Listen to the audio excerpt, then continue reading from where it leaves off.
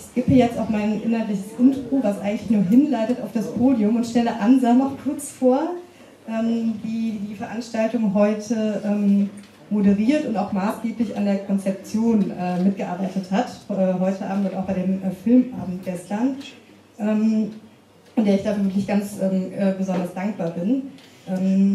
Ansa ist in der irakisch-kommunistischen Diaspora-Community in Deutschland aufgewachsen und beschäftigt sich heute mit zivilgesellschaftlicher Solidarität aus theoretischer und praktischer Perspektive mit besonderem Fokus auf Syrien und Irak und promoviert derzeit an der Berlin Graduate School for Muslim Cultures and Societies zu Staatsgesellschaftsbeziehungen im Post-Irak 2003. Damit übergebe ich dir jetzt die Moderation, freue mich auf ein extrem äh, spannendes ähm, Podium und auch auf Beiträge später. Ich schätze, dass wir so zwei Stunden ähm, genau, ungefähr anfangen. Gut, vielen Dank.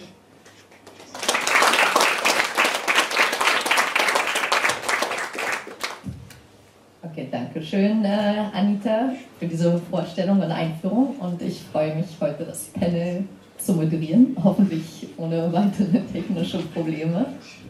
Und äh, für eine ganze Generation von Linken in Deutschland war sie Positionierung gegenüber dem Irakkrieg und die Begründung dieser Positionierung identitätsprägend. Und das ist auch ein Aspekt, der immer wieder betont wird, auch 20 Jahre äh, später wenn man zum Beispiel zu politischen Veranstaltungen geht.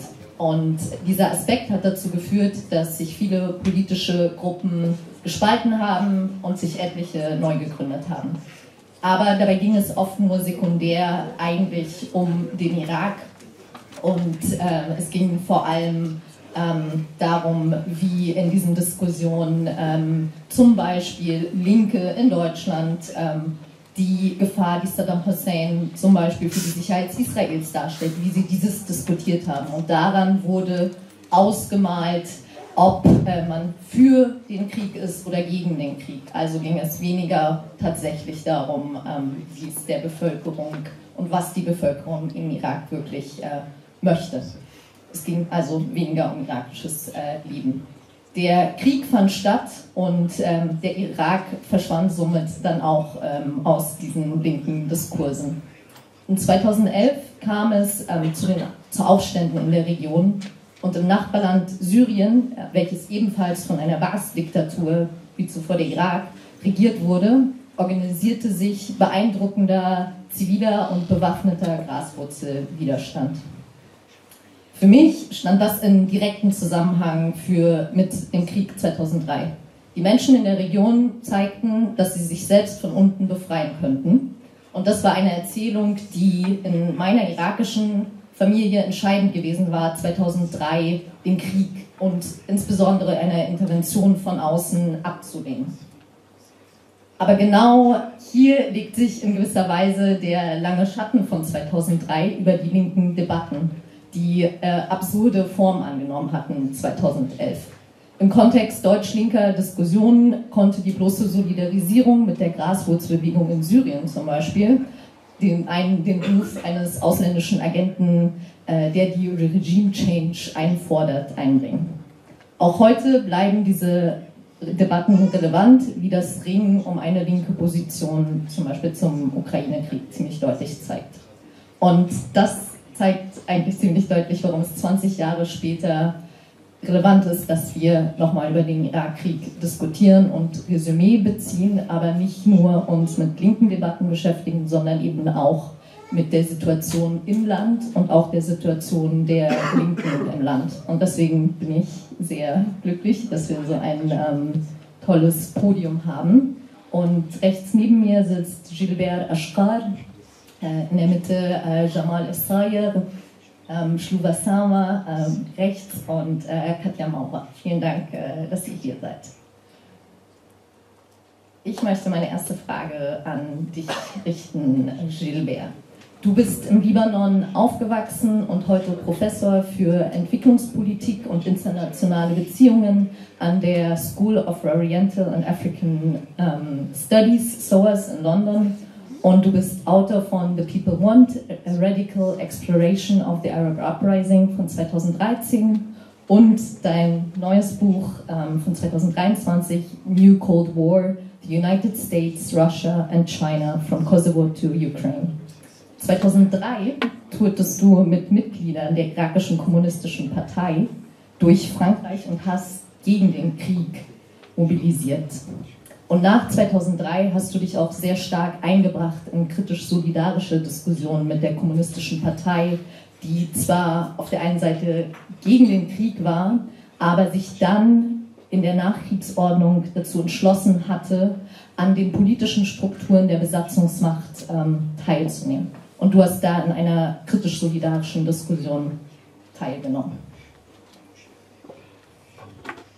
Der Februar, der 15. Februar 2003 ähm, war weltweit ein, ähm, ein, koordinat, ein koordinierter Demonstrationstag gegen den Krieg und ist mit über 10 Millionen Teilnehmern in gewisser Weise als Protesttag in die Weltgeschichte eingegangen. Und diese massive Mobilisierung können wir aber nur verstehen, wenn wir das in einen größeren Kontext der ähm, globalisierungskritischen Bewegungen, die in den 90er Jahren entstanden waren, sehen. Mich würde interessieren, wie hast du damals eben gerade diese globalisierungskritische Bewegung, die so relevant war für die Mobilisierung gegen den Krieg, wie hast du die wahrgenommen? Was hast du, ähm, wie hast du ihre Stärken und Schwächen gesehen? Und wie hast du dich persönlich auch eingebracht in der Mobilisierung gegen den Krieg?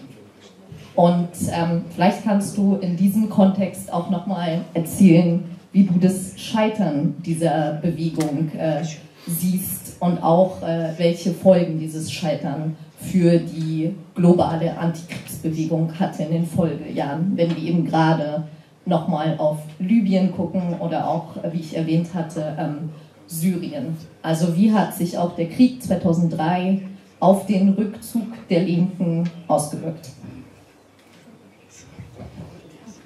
Ähm, vielen Dank. Äh, äh, Shukran.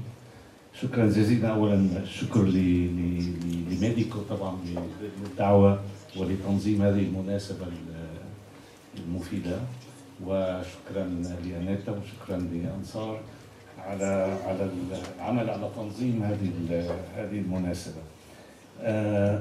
بالنسبة للموضوع في في الحقيقة يعني نحن نتكلم عن حروب ما بعد الحرب الباردة. الحرب البارده الأولى لأنه أعتبر اننا في حرب باردة ثانية أو جديدة. وأول حرب في في مرحلة ما بعد الحرب الباردة هي الحرب الأولى على العراق في العام 91 يلي اختلفت أصلا عن الحروب السابقة يلي خاضتها الولايات المتحدة يعني الولايات المتحدة خاضت حرب كوريا حرب فيتنام تدخلت بشكل أو بآخر عسكريا ضد الثورة في نيكاراغوا يعني بوجه عام لو أخذنا فيتنام فيتنام يلي تسيست على أساسه جي أو الجيل اللي أنا أنتمي إليه تسيس في ضوء حرب فيتنام. في فيتنام كانت الأمور تبدو لنا سياسيا واضحة أننا مع هزيمة الولايات المتحدة مع انتصار الفيتناميين في الدفاع عن سيادة وطنهم. يعني كانت القيادة الفيتنامية يمكن بشكل أو بآخر لليساريين طبعا نتكلم عن اليساريين التماثل معها لو تشوف فيتنام كان لها دور أساسي في في الجيل اليسار الجديد أيضا في ألمانيا يعني التظاهرة في برلين أعتقد كان في فبراير 1968 تظاهرة رودي دوتشكي وكله هذا حول حول فيتنام تضامن مع الثورة الفيتنامية. لما تشوف ال 91 حرب خاضتها الولايات المتحدة ضد العراق بس ضد العراق ديكتاتورية لا يمكن الشعور بالتعاطف مع صدام حسين خاصة إنه نظام مجرم جرائم ضد الاكراد جرائم ضد العراقيين بشكل عام ونظام احتل الكويت. يعني في هذيك الفترة. فهذه خلقت تشويش كبير بالحركة المضادة للحرب عالميا بالنسبة للموقف كان هناك يعني ضمن أوساط اليسار صار هناك يعني الجدال الأكبر كان بال 91 بال 2003 يعني قبل 20 عام آه، كانت الأمور بشكل ما أوضح بمعنى إنه آه، آه، جرى تدمير العراق في عام 91 والاحتلال آه، لم يكن شرعيا. 91 كانت حرب خاضتها الولايات المتحدة تحت راية ال- آه، الأمم المتحدة ها؟ بقرار من الأمم المتحدة مع تصويت موسكو موسكو غورباتشوف الإيجابي وامتناع الصين. يعني كان هناك شرعية دولية للحرب الأمريكية في العام 91 في عام 2003 كانت حرب ضد ضد الشرعية الدولية. وكان برلين وباريس وموسكو في معارضة للحرب. يعني اذا اختلفت الأمور بالكامل. فلذلك 2003 تظاهره ضخمة أكبر بكثير مما شاهدناه في عام 91 لكن كانت يعني لو ننظر لها حاليا تاريخيا كانت وكأنها يعني آه، آه، ذروة للحركة المضادة للحرب لأنها في 15 فبراير 2003 أكبر تظاهرة عالمية في تاريخ في التاريخ. بشكل عام. لكنها كانت وكأنها الحلقة الأخيرة يعني فيها الحركة الكبرى المضادة للحرب ومنذ ذلك الحين دخلنا في في مشاكل أعقد وأعقد. يعني اليوم العالم أعقد مما كان في أيام مثل ما كان في تصور جيل الحرب الباردة. يعني بالنسبة للحروب. ف يعني آه، هناك اذا بالتالي فرق يعني مهم هنا على هذا الصعيد Und ähm, könntest du ähm, nochmal ähm, vielleicht darauf eingehen, wie, ähm, wie sich die Konsequenzen, dass diese Bewegung gescheitert ist, ausgewirkt hat auf weitere Antikriegsbewegungen nach 2003? يعني أع- أع- أعتقد طبعا ال ال ال الاحتلال 2003 أعاد ال- الموقف العام المضاد للحروب الأمريكية تحديدا للولايات المتحدة آه، وتدخلها وبالتالي دخلنا في يعني نوع من الاصطفاف الجديد لدى قسم من الحركة المضادة للحرب. في الماضي كان هناك آه، معسكرين والناس تصطف إما مع موسكو أو مع واشنطن. طبعا لم تعد موسكو هي الاتحاد السوفيتي صارت موسكو بوتين تختلف. فلم يعد هناك يعني سوى قسم بسيط بس بشكل عام لا تجد هنا أطراف مهمة في اليسار تتعاطف مع بوتين. لكن هناك اصطفاف سلبي يعني ليس مع فلان لكن ضد فلان ضد أمريكا. وهناك نزع عند قسم من اليسار لتقريبا دخول في منطق آه، آه، آه، عدو عدوي صديقي وهذا منطق خطير يؤدي إلى مواقف ملتبسة من بشار الأسد من بوتين وغيرها من الأطراف بحجة يعني معارضة أمريكا أو معارضة برلين أو معارضة لندن. وهذا أعتقد برضه يعني مشكلة سياسية. يعني ال ال ال ال اليسار يجب أن يقف مواقف مبدئية وليس اصطفاف حسب يعني الموقف يجب يكون مبني على مبادئ في في كل مناسبة وليس على مواقف مطلقة أسبق من المبادئ. يعني بمعنى آخر وانهي هنا. نحن مع حق الشعوب في تقرير مصيرها. يجب هذا هو الشعار هذا هو المبدأ الأساسي مبدأ الديمقراطية الأساسي في العلاقات الدولية. ولسنا لا نحدد موقفنا في ضوء إذا كانت أمريكا موقفها كده ولا كده أو مو- موسكو أو بكين أو أي نحدد موقفنا بناء على حق الشعوب في تقرير مصيرها مهما كان العدو الذي الذي يمنع الشعوب في اللحظه هذه او تلك من تقرير مصيرها Vielen Dank. Ähm, Katja, du hast damals äh, wie heute für die linke Frankfurter Hilfs- und Menschenrechtsorganisation Medico International gearbeitet. Medico selbst ist im Mai 1968 und äh, Gilbert, du hast ja gerade auch schon ähm, dieses Datum erwähnt, also vor ziemlich genau 55 Jahren gegründet worden. und im Kontext eben gerade dieses Aufbruchs der Mobilisierung gegen den Krieg im Vietnam, ähm, worauf du auch gerade schon Bezug genommen hattest, Gilbert. Und eben gerade diese Forderung nach ähm, der Notwendigkeit von praktischer Solidarität, das war die Motivation für Medico, die Arbeit aufzunehmen.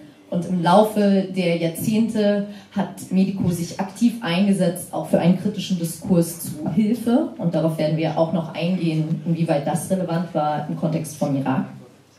Und in diesem Kontext war es Medico ja auch immer wichtig, politische Aufklärung in Deutschland äh, zu leisten. Und in dem Sinne seid ihr auch aktiver Teil von linker Diskursbildung und der Diskursbildung in Solidaritätsbewegungen. Das hat sich ja auch immer wieder in der Konfrontation mit Gewaltverhältnissen gezeigt und ähm, Anita hat es schon erwähnt, die, der Einsatz von Giftgas äh, im Irak gegen Kurdinnen, wo eben deutsche Firmen äh, maßgeblich eine Rolle gespielt haben und Medico hat sich in der Aufarbeitung dessen eingesetzt, aber auch in der Forderung nach Wiedergutmachung. Äh, und 2003 warst du Leiterin der Öffentlichkeitsarbeit und Chefredakteurin des Frankfurter Rundschreibens. Als Katja und als Medico ähm, seid ihr eben auch äh, somit äh, Zeitzeuginnen der globalisierungskritischen Bewegung, die in gewisser Weise mit 2003 zerstört wurde. Und auch im Anschluss an das, was äh, Gilbert ähm, gesagt hat, möchte ich dich fragen, wie war denn die Situation aus deiner Sicht 2003 für eine Bewegung, die eine Globalisierung von unten gelebt hat? Und warum war der Krieg ähm, so einschneidend? Und vielleicht das auch nochmal, dass wir diesen Krieg ähm, als weltpolitisches Ereignis ähm, verstehen, welches unter exter, extremer politischer, moralischer Rechtfertigung einen vermeintlichen Regime-Change legitimierte und den War on Terror ähm, ausrief, der wiederum auf äh, sehr vielen Ebenen einen ähm, ziemlich massiven Einschnitt ähm, bedeutete. Ja, also vielen Dank für die Einladung. Gilbert ich gebe mir hier die, die älteren Augenzeugen. Ja? Äh, für ein hoffentlich junges Publikum, das vielleicht das gar nicht mehr so präsent hat, aber weil man das tatsächlich doch sehr historisch erzählen muss, um zu verstehen, äh, wie schwer es war, auch für eine linke Politik tatsächlich auf Augenhöhe zu sein. Ich glaube, heute verstehen wir das viel besser, als wir das damals verstanden haben. Also zum Beispiel die Friedensbewegung, von der die Rede war, war ja natürlich immer noch wahnsinnig in diesem Ost-West-Konflikt äh, verhaftet, zehn Jahre danach. Ja?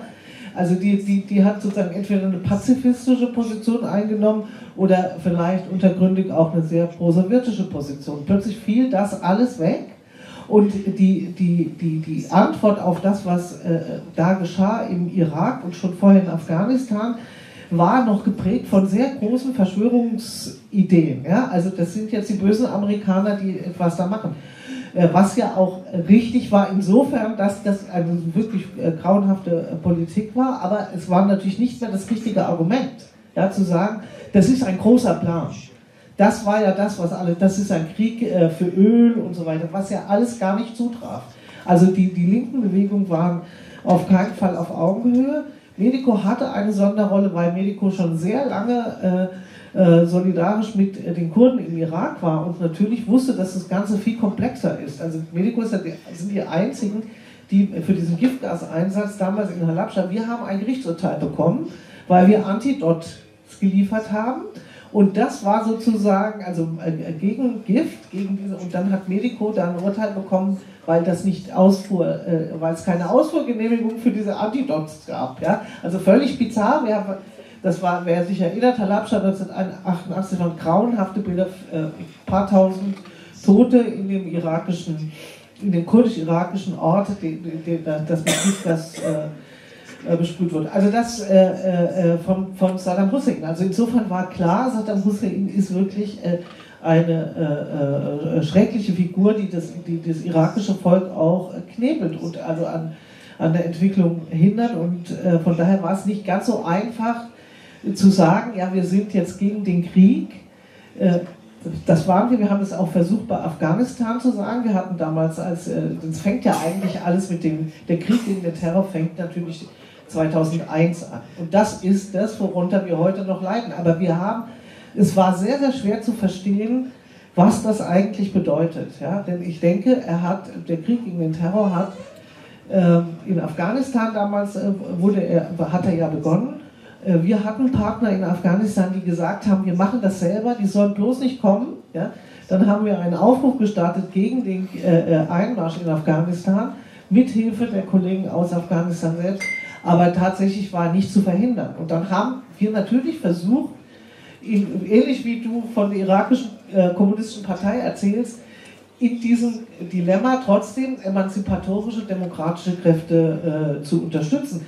Als jetzt äh, äh, beschlossen wurde, Afghanistan wieder zu verlassen, haben unsere Partner, äh, die wirklich tolle Arbeit zum Teil vor Ort gemacht haben, gesagt, das geht nicht, dass die jetzt gehen. Wir werden, den, äh, wir werden jetzt den Taliban zum Fraße vorgeworfen, ja? was auch der Fall ist. Wir mussten dafür sorgen, dass die Leute rauskommen. Also ist diese, das Dilemma, was wir in der Politik haben, seit äh, äh, dem Krieg gegen den Terror, in dem wir uns äh, seit dem Ende des Ost-West-Konflikts, das ist das, was für linke Politik auch wirklich sehr, sehr schwer ist, sich darin zu bewegen, weil wir äh, aufgewachsen sind im, im, Kalten Krieg mit bestimmten relativ klaren Feindbildern. Ja? Und jetzt äh, äh, das Ganze, was ich ich glaube, der Irakkrieg ist deshalb ein Einschnitt, weil er das, was in Afghanistan begonnen wurde, ähm, faktisch vollendet hat. Er hat die gesamte islamische Welt zum anderen konstruiert. Ich habe noch zwei Minuten, okay. Ich versuche. Ich fand damals, ich kann mich erinnern, Judith Butler hat das, ich meine, wir dürfen nicht vergessen, es gab eine es gab Folter überall, es gab Folterzentren an verschiedenen Orten. Äh, alle haben kollaboriert ja, und haben, äh, es gab überhaupt keine Solidarität mit äh, zu Unrecht Verhafteten. Es gab äh, Guantanamo, also wir, das, sind, das sind ja grauenhafte Sachen. Vorher, wir sind eine Solidaritätsorganisation, in den 80er Jahren selbstverständlich gab es Solidaritätsbewegungen weltweit mit äh, äh, Chilenen, mit Argentinien, mit Südafrika, das fiel komplett aus. Ja, das muss man sich mal vorstellen. Davon, das haben wir bis heute. Da draußen steht, wir brauchen mehr Solidarität, aber letztlich ist durch den Krieg gegen den Terror Solidarität gekillt worden, weil es gibt hunderttausende Menschen, mit denen wir überhaupt nicht solidarisch sind im, im reichen Westen, sondern es sind Leute, äh, die wir als, die wir als Feindkonstruktion wahrnehmen und gar keine Empathie haben mit denen. Und das ist, glaube ich, äh, äh, äh, das Verheerende. Und ich noch ein kurzes Zitat, Arundhati Roy. Ich glaube, in Deutschland war das relativ kompliziert mit dem Krieg gegen den Irak. Ich weiß nicht, ob die Bewegung hier wirklich so bedeutsam war wie in anderen, weil es ja so verknüpft war mit der Israel-Frage. Ja? Äh, das, glaube ich, sollten wir aber jetzt heute weglassen, sonst wird es wirklich kompliziert. Ja? Ähm, aber Arundhati Roy hat ja damals gesagt, dass es nicht gelungen ist, diesen Krieg zu verhindern, obwohl es eine weltweite Bewegung gab und obwohl es ja wahnsinnig viele Regierungen gab, die dagegen waren, inklusive die deutsche. Ja, äh, ist letztlich der Einschnitt, was alles spätere verunmöglicht hat. Aber es ist natürlich dieser Krieg gegen den Terror und diese, diese Idee des Regimeschehens von außen und von oben. Und wenn wir nachher äh, äh und natürlich trifft es nicht die Falschen. Weder Saddam Hussein war der Falsche, noch war Gaddafi der Falsche. Aber was war das Angebot, was die USA und die westlichen Hegemonen hatten? Ja, das ist dann, wo die Hilfe ins Spiel kommt, das, der letzte Satz, nämlich äh, äh, Weltmarkt. Ja, das wird ja wahrscheinlich nachher Weltmarkt. Wir müssen euch nur im Weltmarkt integrieren und NGOs, die den Sozialstaat ersetzen. Also NGOs für Medien. Das ist das Angebot und das ist jetzt weltweit gescheitert. Die einzigen, die es nicht merken, sind die, die es immer noch in, in der Ukraine wieder propagieren. Ja. Vielen Dank, äh, Katja. Schluwa, du hast äh, zur politischen Ökonomie der Landwirtschaft in Kurdistan, Irak promoviert und arbeitest bei der Rosa-Luxemburg-Stiftung ähm, im Beirut-Office. Und dort beschäftigst du dich insbesondere mit der Frage der Auswirkungen von Krieg, Neoliberalismus und Hilfe auf die Landwirtschaft und Nahrungsmittelproduktion im Irak. Du wurdest selbst während der Anfallkampagne Saddam Husseins 1988 in Kurdistan geboren und bist dann zwischen Kurdistan, Irak und Deutschland aufgewachsen. Der Krieg ähm, oder den Krieg im Irak hast du ähm, somit als äh, kurdische ähm, Diaspora oder in der kurdischen Diaspora erlebt. mich würde interessieren, wie waren denn die Diskussionen in der kurdischen Diaspora? Generell wissen wir, wenn es um den Irak geht, die irakischen Diasporen haben eine sehr entscheidende Rolle gespielt, ähm, nicht um den Krieg herbeizuführen, aber um den Krieg zu rechtfertigen. Und ähm, in dem Kontext ähm, ist es wichtig, dass wir sicherlich nicht von arabischer gegen kurdischer Diaspora sprechen, sondern nochmal versuchen, Nuancen rauszuarbeiten, die du auch wahrgenommen hast in, ähm, in diesen Diasporen. Und ähm, dann würde mich noch interessieren, dass du vielleicht auf ähm, eben diese angesprochene Rolle der Diaspora nach dem Krieg nochmal eingehst. Okay. Ähm, ja, vielen Dank. Äh, vielen Dank äh, an Saal und äh, an Medico für die Einladung. Ähm, ja, also zur Diaspora, genau, ich glaube, ähm, ich würde damit starten, was ich glaube in Deutschland ein, ähm, vielleicht so eine, eine Wahrnehmung ist oder auch global, dass, äh, dass die Kurden waren äh, für, den, äh, für die US-Invasion und die Kurden äh, auch in der Diaspora ähm, hatten, haben quasi am ehesten von der äh, US-Invasion profitiert. Das ist so eine, eine genau, eine, eine Sache, mit der ich hoffe, ich konfrontiert werde. Und ähm, Genau, ich würde sagen, ich würde das gerne ein bisschen auflösen. Ähm, und zwar gibt es einfach, äh, es gibt verschiedenste Analysen zur Rolle der Diaspora ähm, in der Irak-Invasion. Und da gibt es äh, zum Beispiel den Iraqi National Congress und äh, verschiedene äh, Personen, die sehr eng waren mit, äh, in, äh, mit der US-Administration und die sozusagen, es gibt ein Buch, was vielleicht vielen bekannt ist, von Kanan Makir, der sozusagen die Horror ähm, des irakischen Regimes beschreibt und das wird sozusagen zu einer Rechtfertigung ähm, und äh, hilft auch der US-Administration ähm, in ihrer Rechtfertigung des Irakkriegs. Ähm, und ich würde sagen, was vielleicht wichtig ist äh, zu betrachten, ist weniger zu schauen, äh, gibt es eine kurdische Diaspora und eine arabische, sondern ich würde sagen, ähm, die Diaspora äh, gehört zur irakischen Geschichte wie die irakische Geschichte ohne Diaspora kann man äh, eigentlich gar nicht denken, denn es gab immer wieder Wellen, ähm, ja, Wellen der Auswanderung im Irak, jedes Mal, wenn es äh, auch zu politischen Konflikten gekommen ist. Und ähm, in der Diaspora befanden sich eben äh, nicht nur Kurden und äh, ich würde sagen, eben eine Aufteilung, die ich besser finde, ist es zu schauen, ähm, es gibt eine Diaspora-Elite und es gibt andere verschiedene äh, Diasporen in, in, im Ausland. Ähm, genau, also welche, um welche Klasse von Menschen handelt es sich dann eigentlich in der Diaspora? Ähm, und ich glaube, das ist wichtig äh, zu schauen. Es waren bestimmte politische Parteien, die Gehör gefunden haben äh, in den USA. Ähm, und genau, es war, es war eben nicht nur so, dass die den USA geholfen haben in ihrer Rechtfertigung des Krieges, sondern es war auch so, dass, ähm, dass diese Parteien auch geopolitisch von den USA gestärkt worden sind in, im Irak dann. Und ich würde vielleicht jetzt äh, am ehesten über die kurdischen äh, Regierungsparteien, die KDP, die Kurdistan Democratic Union, äh, Party und die PUK, die Patriotic Union of Kurdistan reden, äh, die beide sehr enge Verbündete waren ähm, der USA. Und ich glaube, die Unterstützung der USA hat ihnen auch nochmal ähm, viel mehr Stärke verliehen, ähm, darin einmal innerhalb des Irak und innerhalb Kurdistans verschiedene andere linke Bewegungen ähm, zu zerstören und auch innerhalb der ähm, Diaspora, ähm, genau, und auch innerhalb der Diaspora äh, die dominanten Diskurse zu setzen.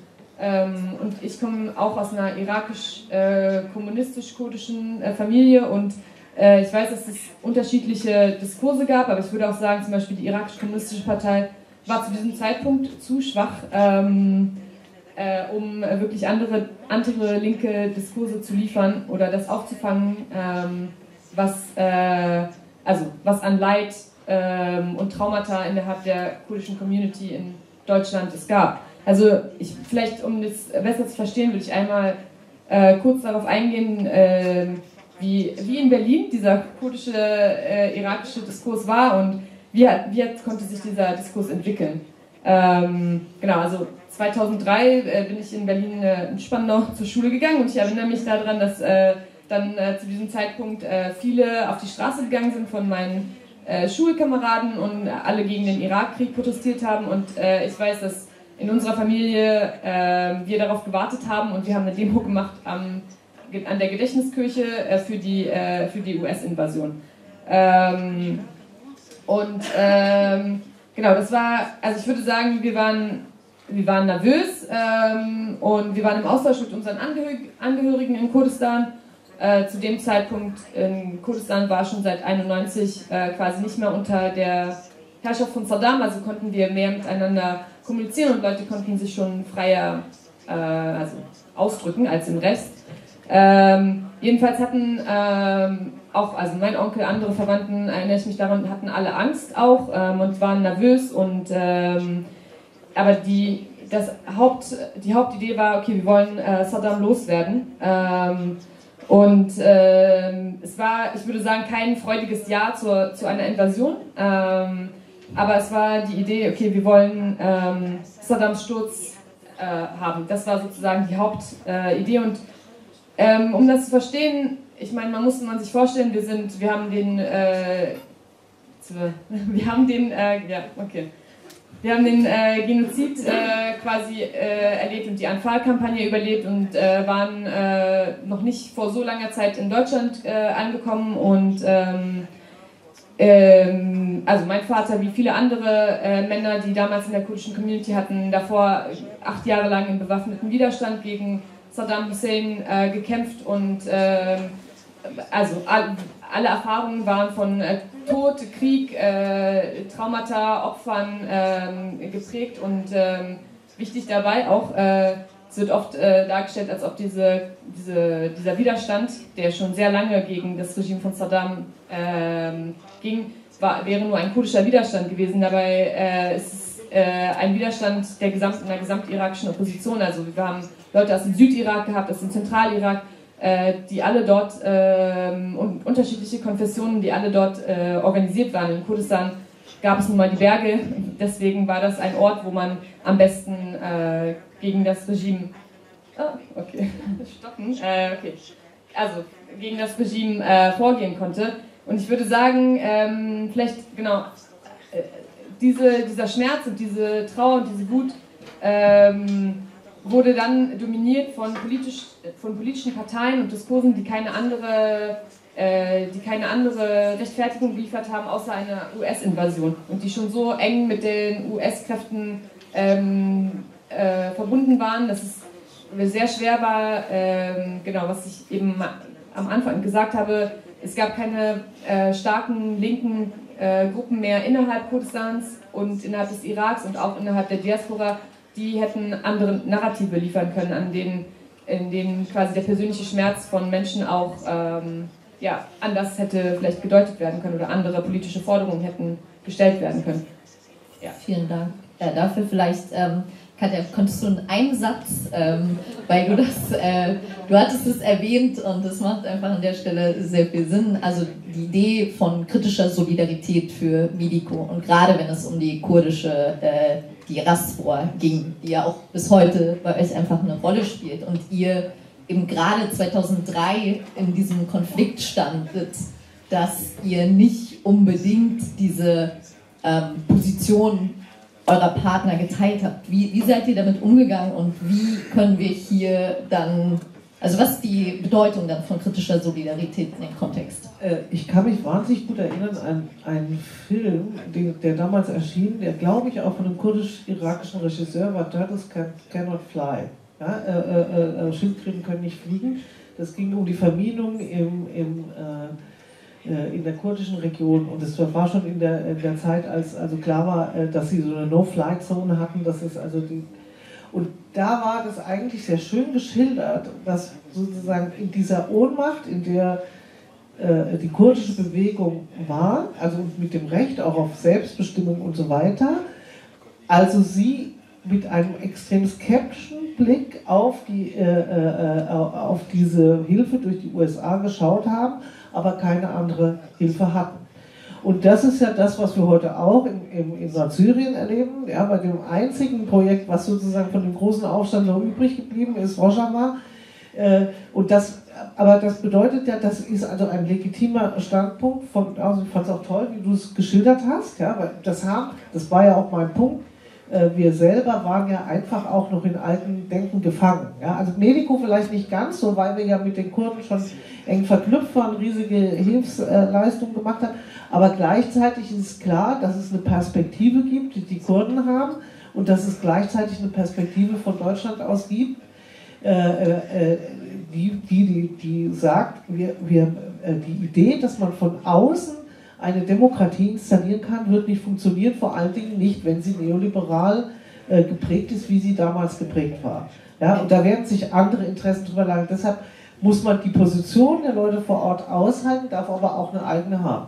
Mhm. Das wäre dann kritische Solidarität, aber ich muss mit einer Empathie die auch anhören können. Auf jeden Fall. Vielen äh, Dank äh, für die Aussage nochmal. Ich möchte nun zu äh, Jamal äh, kommen, der extra aus Bagdad äh, angereist gekommen ist.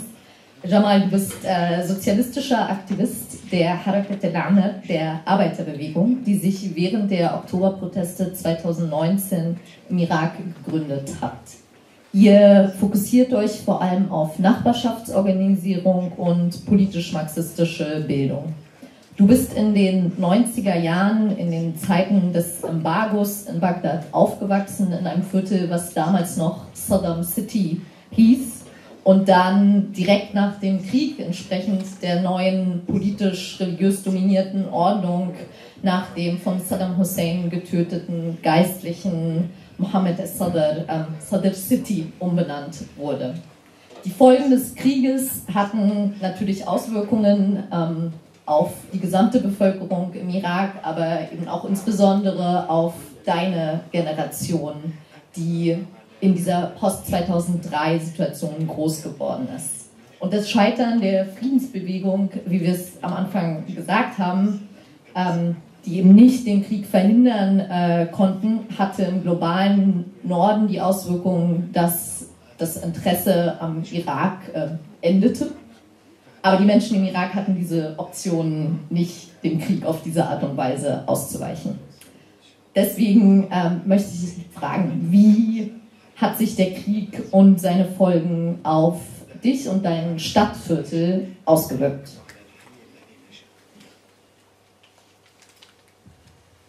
شكرا انصار وشكرا لكم على الدعوه وشكرا لحضورك آه، إذا يعني حبينا بالبداية نحكي عن الحرب.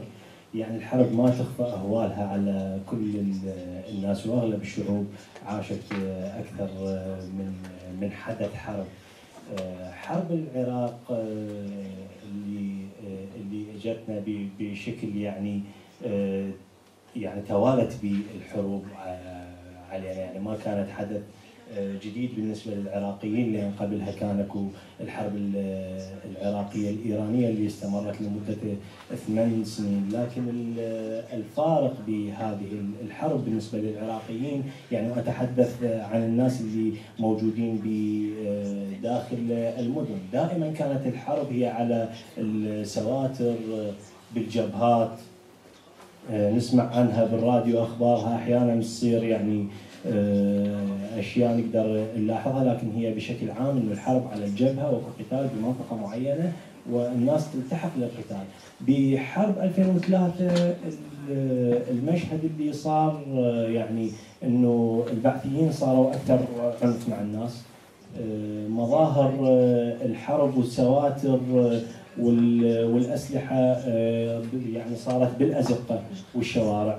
فهذا يعني كان مفزع بالنسبة للعراقيين وخصوصا يعني يعني للي بعمري في وقتها يعني كنت صبي صغير وبديت أشوف نفسي انه أنا صرت بمكان أشبه بالجبهة يعني.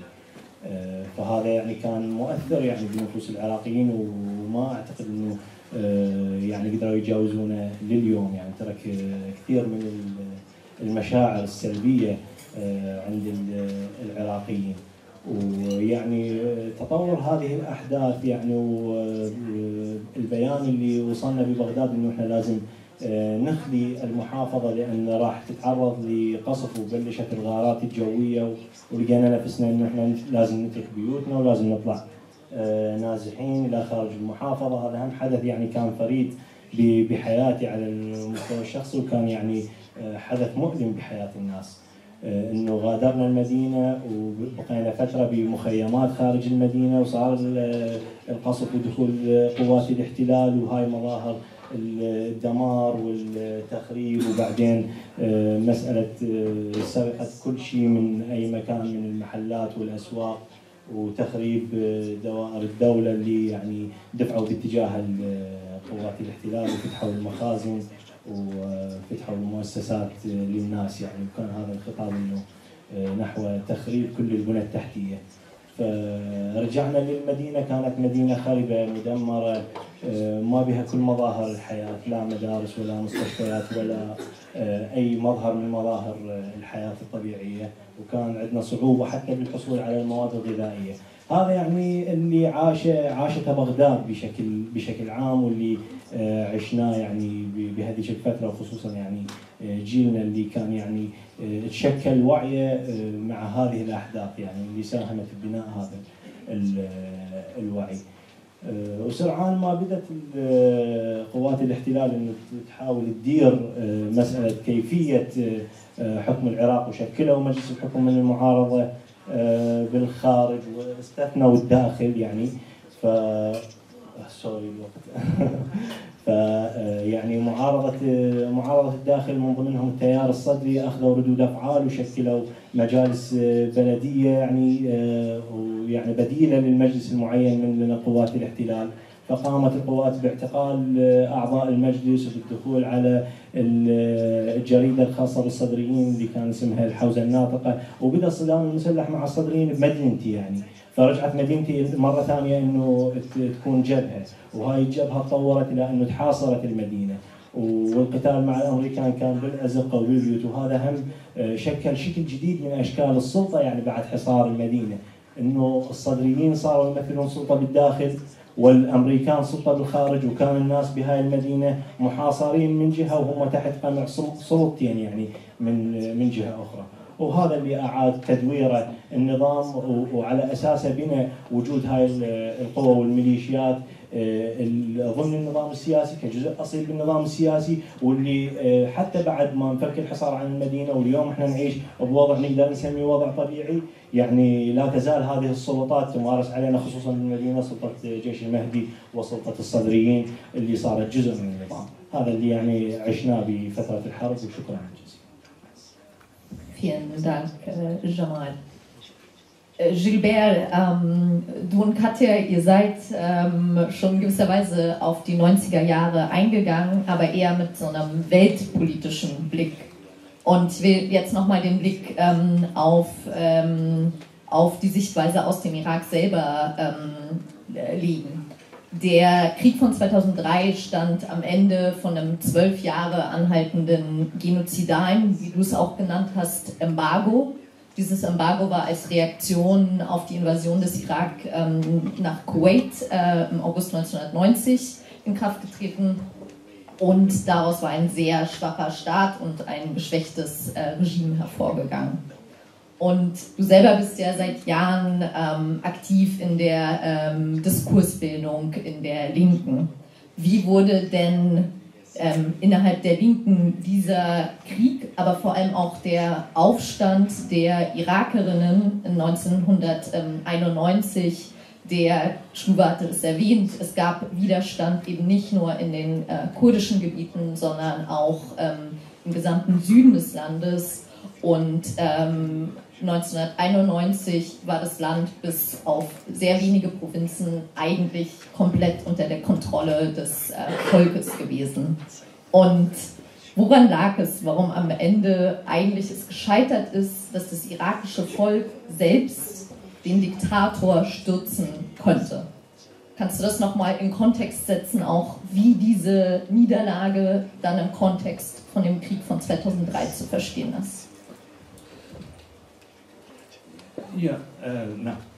ال- يعني ه- هذا بيرجعنا فعلا لموضوع حرب العراق الأولى آه، ال 91 90 91 هي آه، من يعني نموذجية عن المشاكل يلي واجهتنا في ما بعد الحرب الباردة ما بعد وجود الاتحاد السوفيتي يعني لو نظرنا لحرب العراق يعني مثلا آه، ذكرت إنه المقارنه مثلا مع فيتنام كان ممكن التضامن مع الثورة الفيتنامية مع الحكم الفيتنامي حتى يعني حكم فيتنام الشمالية ضد الأمريكيين لم يكن ممكنا التضامن مع صدام حسين في وجه الامريكان? ولو بعض الأطراف يعني ممكن وقفت بهذا الموقف بس عمليا موقف أنا انتمي له آه، ذكرت أنت إنه كنت بجولة ندوات مع رائد فهمي اللي أصبح حاليا هو يعني بقيادة الحزب الشيوعي العراقي. كان بفرنسا رائد وعملنا جملة ندوات. كان ندواتنا ضد آه، آه، مشروع الاحتلال يعني كان لسه ما صار الاحتلال كان ب 2003 2002 يعني آه، ندوات ضد الاحتلال لكن بنفس الوقت تشرح للناس نحن ضد الاحتلال لكن نحن ضد صدام حسين بنفس الوقت. اللي هي لو نظرنا بال 91 يعني لو تطرح نطرح السؤال ماذا يمكن أن يكون موقف الناس داخل العراق؟ ها؟ إيه، هل يمكن آه، آه، آه، حمل السلاح للدفاع عن العراق في ظل صدام حسين؟ لا أعتقد أن هذا ممكن. ولذلك أنت القسم الأكبر من الشعب العراقي بال 2003 وقف مح- يعني لما دخلت قوات التحالف ما ما صار في مقاومة من القسم الأكبر من العراقيين، ما صار في مقاومة شعبية. مثلا لو لو, قارنا بأوكرانيا اليوم والتدخل الروسي فرق عظيم. آه، حتى السيستاني في- ذلك الوقت يعني أعطى تعليمات إنه لا لا مقاومة ولا ترحاب بال بالجيوش وهذا فعلا موقف إنه لا نقبل بالاحتلال لكن لن لن نعرض أنفسنا دفاعا عن صدام حسين. م? وبالنسبة لكردستان ذكرت يعني نشوفها بال 91 نفس الموضوع. يعني ضد الحرب لأننا نعلم أن هذه الحرب ليست ليس القصد منها إسقاط صدام حسين أو إشاعة الديمقراطية في العراق. القصد من هذه الحرب هو تدمير آه، العراق في في تبديل موازين القوى الإقليمية. وتسلط الأمريكي على العراق بكونه دولة أساسية من دول الخليج كمنطقة استراتيجية نفطيه. هذه الغاية. وبالتالي هذه الحرب نحن ضدها وبالفعل 91 كان حرب تدمير يعني آه، تدمير للبنية التحتية العراقية? آه، آه، وقتها كانت جيسيكا ماتيوز كتبت مقالة هي أصبحت فيما بعد آه، مديرة كارنيجي انترناشونال فور بيس كتبت مقال كان عنوانه بالنيويورك تايمز آه، قصف الآن والقتل فيما بعد.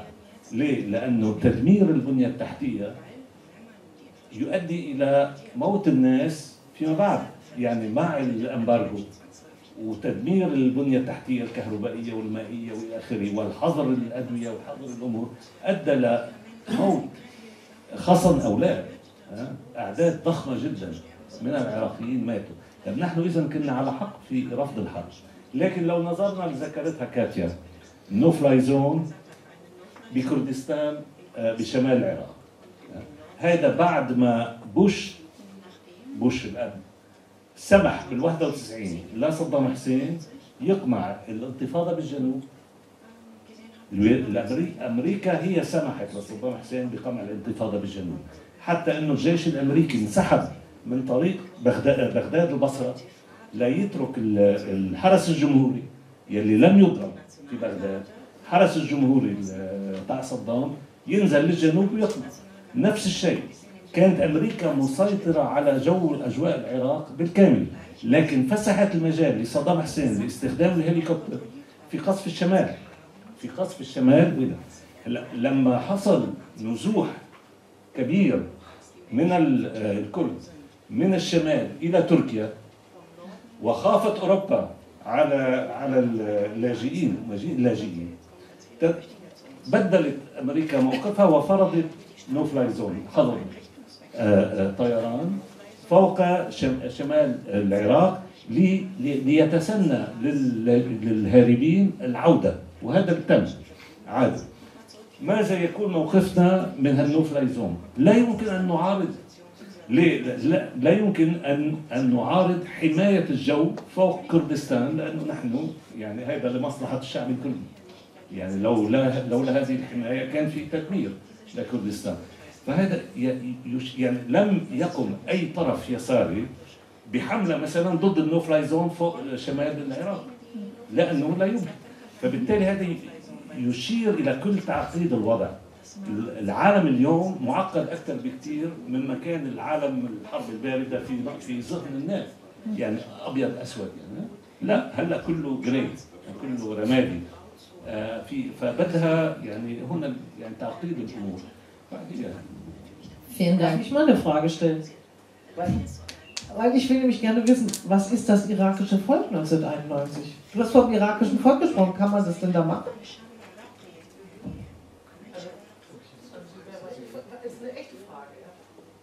Mahmoud al-Shab al Ansor.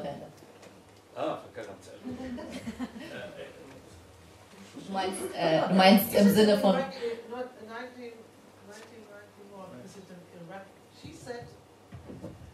Also, Ansar sprach von dem Aufstand des irakischen Volkes 1991. Kann man das denn dann so nennen, dass da das irakische Volk als Volk aufgestanden ist? Oder war es nicht ein Aufstand im Norden und im Süden und war es nicht. Also, ich komme mit dem Begriff Volk da nicht لا. zurecht. طبعا ال- هناك اقسام ها؟ اقسام بال- بال- بالشعب العراقي لكن ال- لا أعتقد يعني موضوع الشمال في قضيه قوميه الشعب الكردي قوميه مختلفه م? و- وبالتالي لأنه لأنه قومية مختلفة يجب أن يكون له حق تقرير المصير وأؤيد أن حق تقرير مصير للشعب الكردي في في كل مكان. آه، جنوب وغير جنوب موضوع ثاني لأنه بغداد لك ما كان في أي إمكانية بال 91 لأي انتفاضة بغداد ولا حتى بال 2003 لأنه قوات النظام مسيطرة على المدينة سيطرة كاملة القوات الطبيعة للنظام الحرس الجمهوري مسيطرة على المدينة الجنوب ما حرب على الكويت الحرب الأمريكية كانت طالت جنوب العراق وبالتالي السلطة ضعفت بجنوب العراق وهذا سمح للانتفاضة بأن تحصل. وخلافا لما يقال الانتفاضة ليس لم تكن إيرانية يعني طبعا كان هناك جماعات بس كان انتفاضة شعبية ها، بال 91 و و وفسح الأمريكان المجال أمام صدام حسين ليطبعها بشكل رهيب يعني آلاف القتلى في في هذيك الوقت.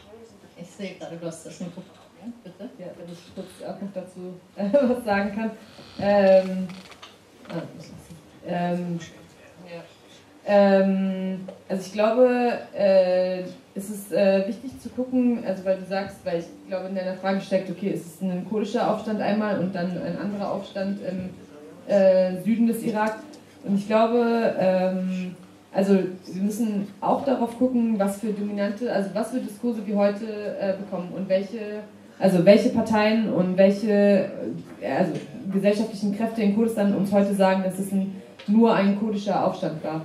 Weil es einfach auch andere, äh, andere Diskurse gab und andere Gruppen gab, die an diesem Aufstand in Kurdistan beteiligt waren, ähm, die nicht, die erstmal nicht an äh, irgendwie einen kurdischen Staat gedacht haben, sondern die daran gedacht haben, äh, okay, wir ähm, also es, ich habe mit verschiedenen Leuten geredet, zum Beispiel in Suleimaniye, äh, in dieser Stadt, ähm, und in anderen äh, wird äh, geredet von Nachbarschaftsräten und Nachbarschaftskommunen, ähm, die sich gebildet haben und die gesagt haben, wir haben diesen Aufstand am Morgen des 7. März 1991, äh, haben wir das schon lange vorher organisiert und erst am Abend sind zum Beispiel dann die kurdischen Peschmerga-Kräfte aus den Bergen äh, gekommen und haben dann irgendwann deklariert, das ist jetzt ein kurdischer Aufstand. Und das, dieser Diskurs hat sich später sehr stark gebildet und es ist auch einer gewesen, um äh, Hilfe zu bekommen aus dem Ausland und um sich so darzustellen. Also ich würde sagen, es gab einfach sehr verschiedene Arten und Weisen, äh, wie dieser Aufstand gesehen worden ist. Und äh, es ist wichtig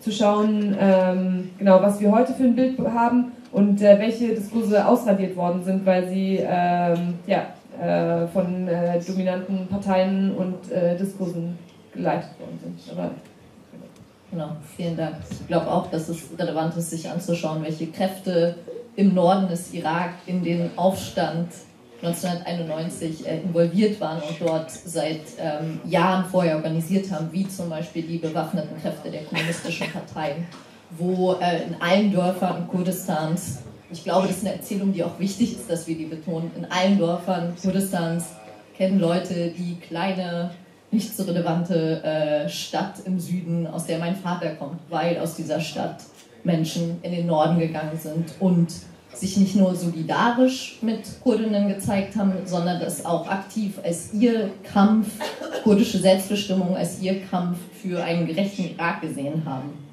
Und auch dort die Idee war, dass wenn man ein freies Kurdistan haben könnte, dann ist das das Modell und darauf kommen, werden wir noch eingehen für den Rest äh, des Irak. Diese Ideen gab es, äh, gab es ja und ich glaube, es ist ähm, wichtig, äh, dass wir uns auch daran äh, erinnern, gerade auch eine äh, post-2003 irakische Linke, dass es diese Bezugspunkte gibt.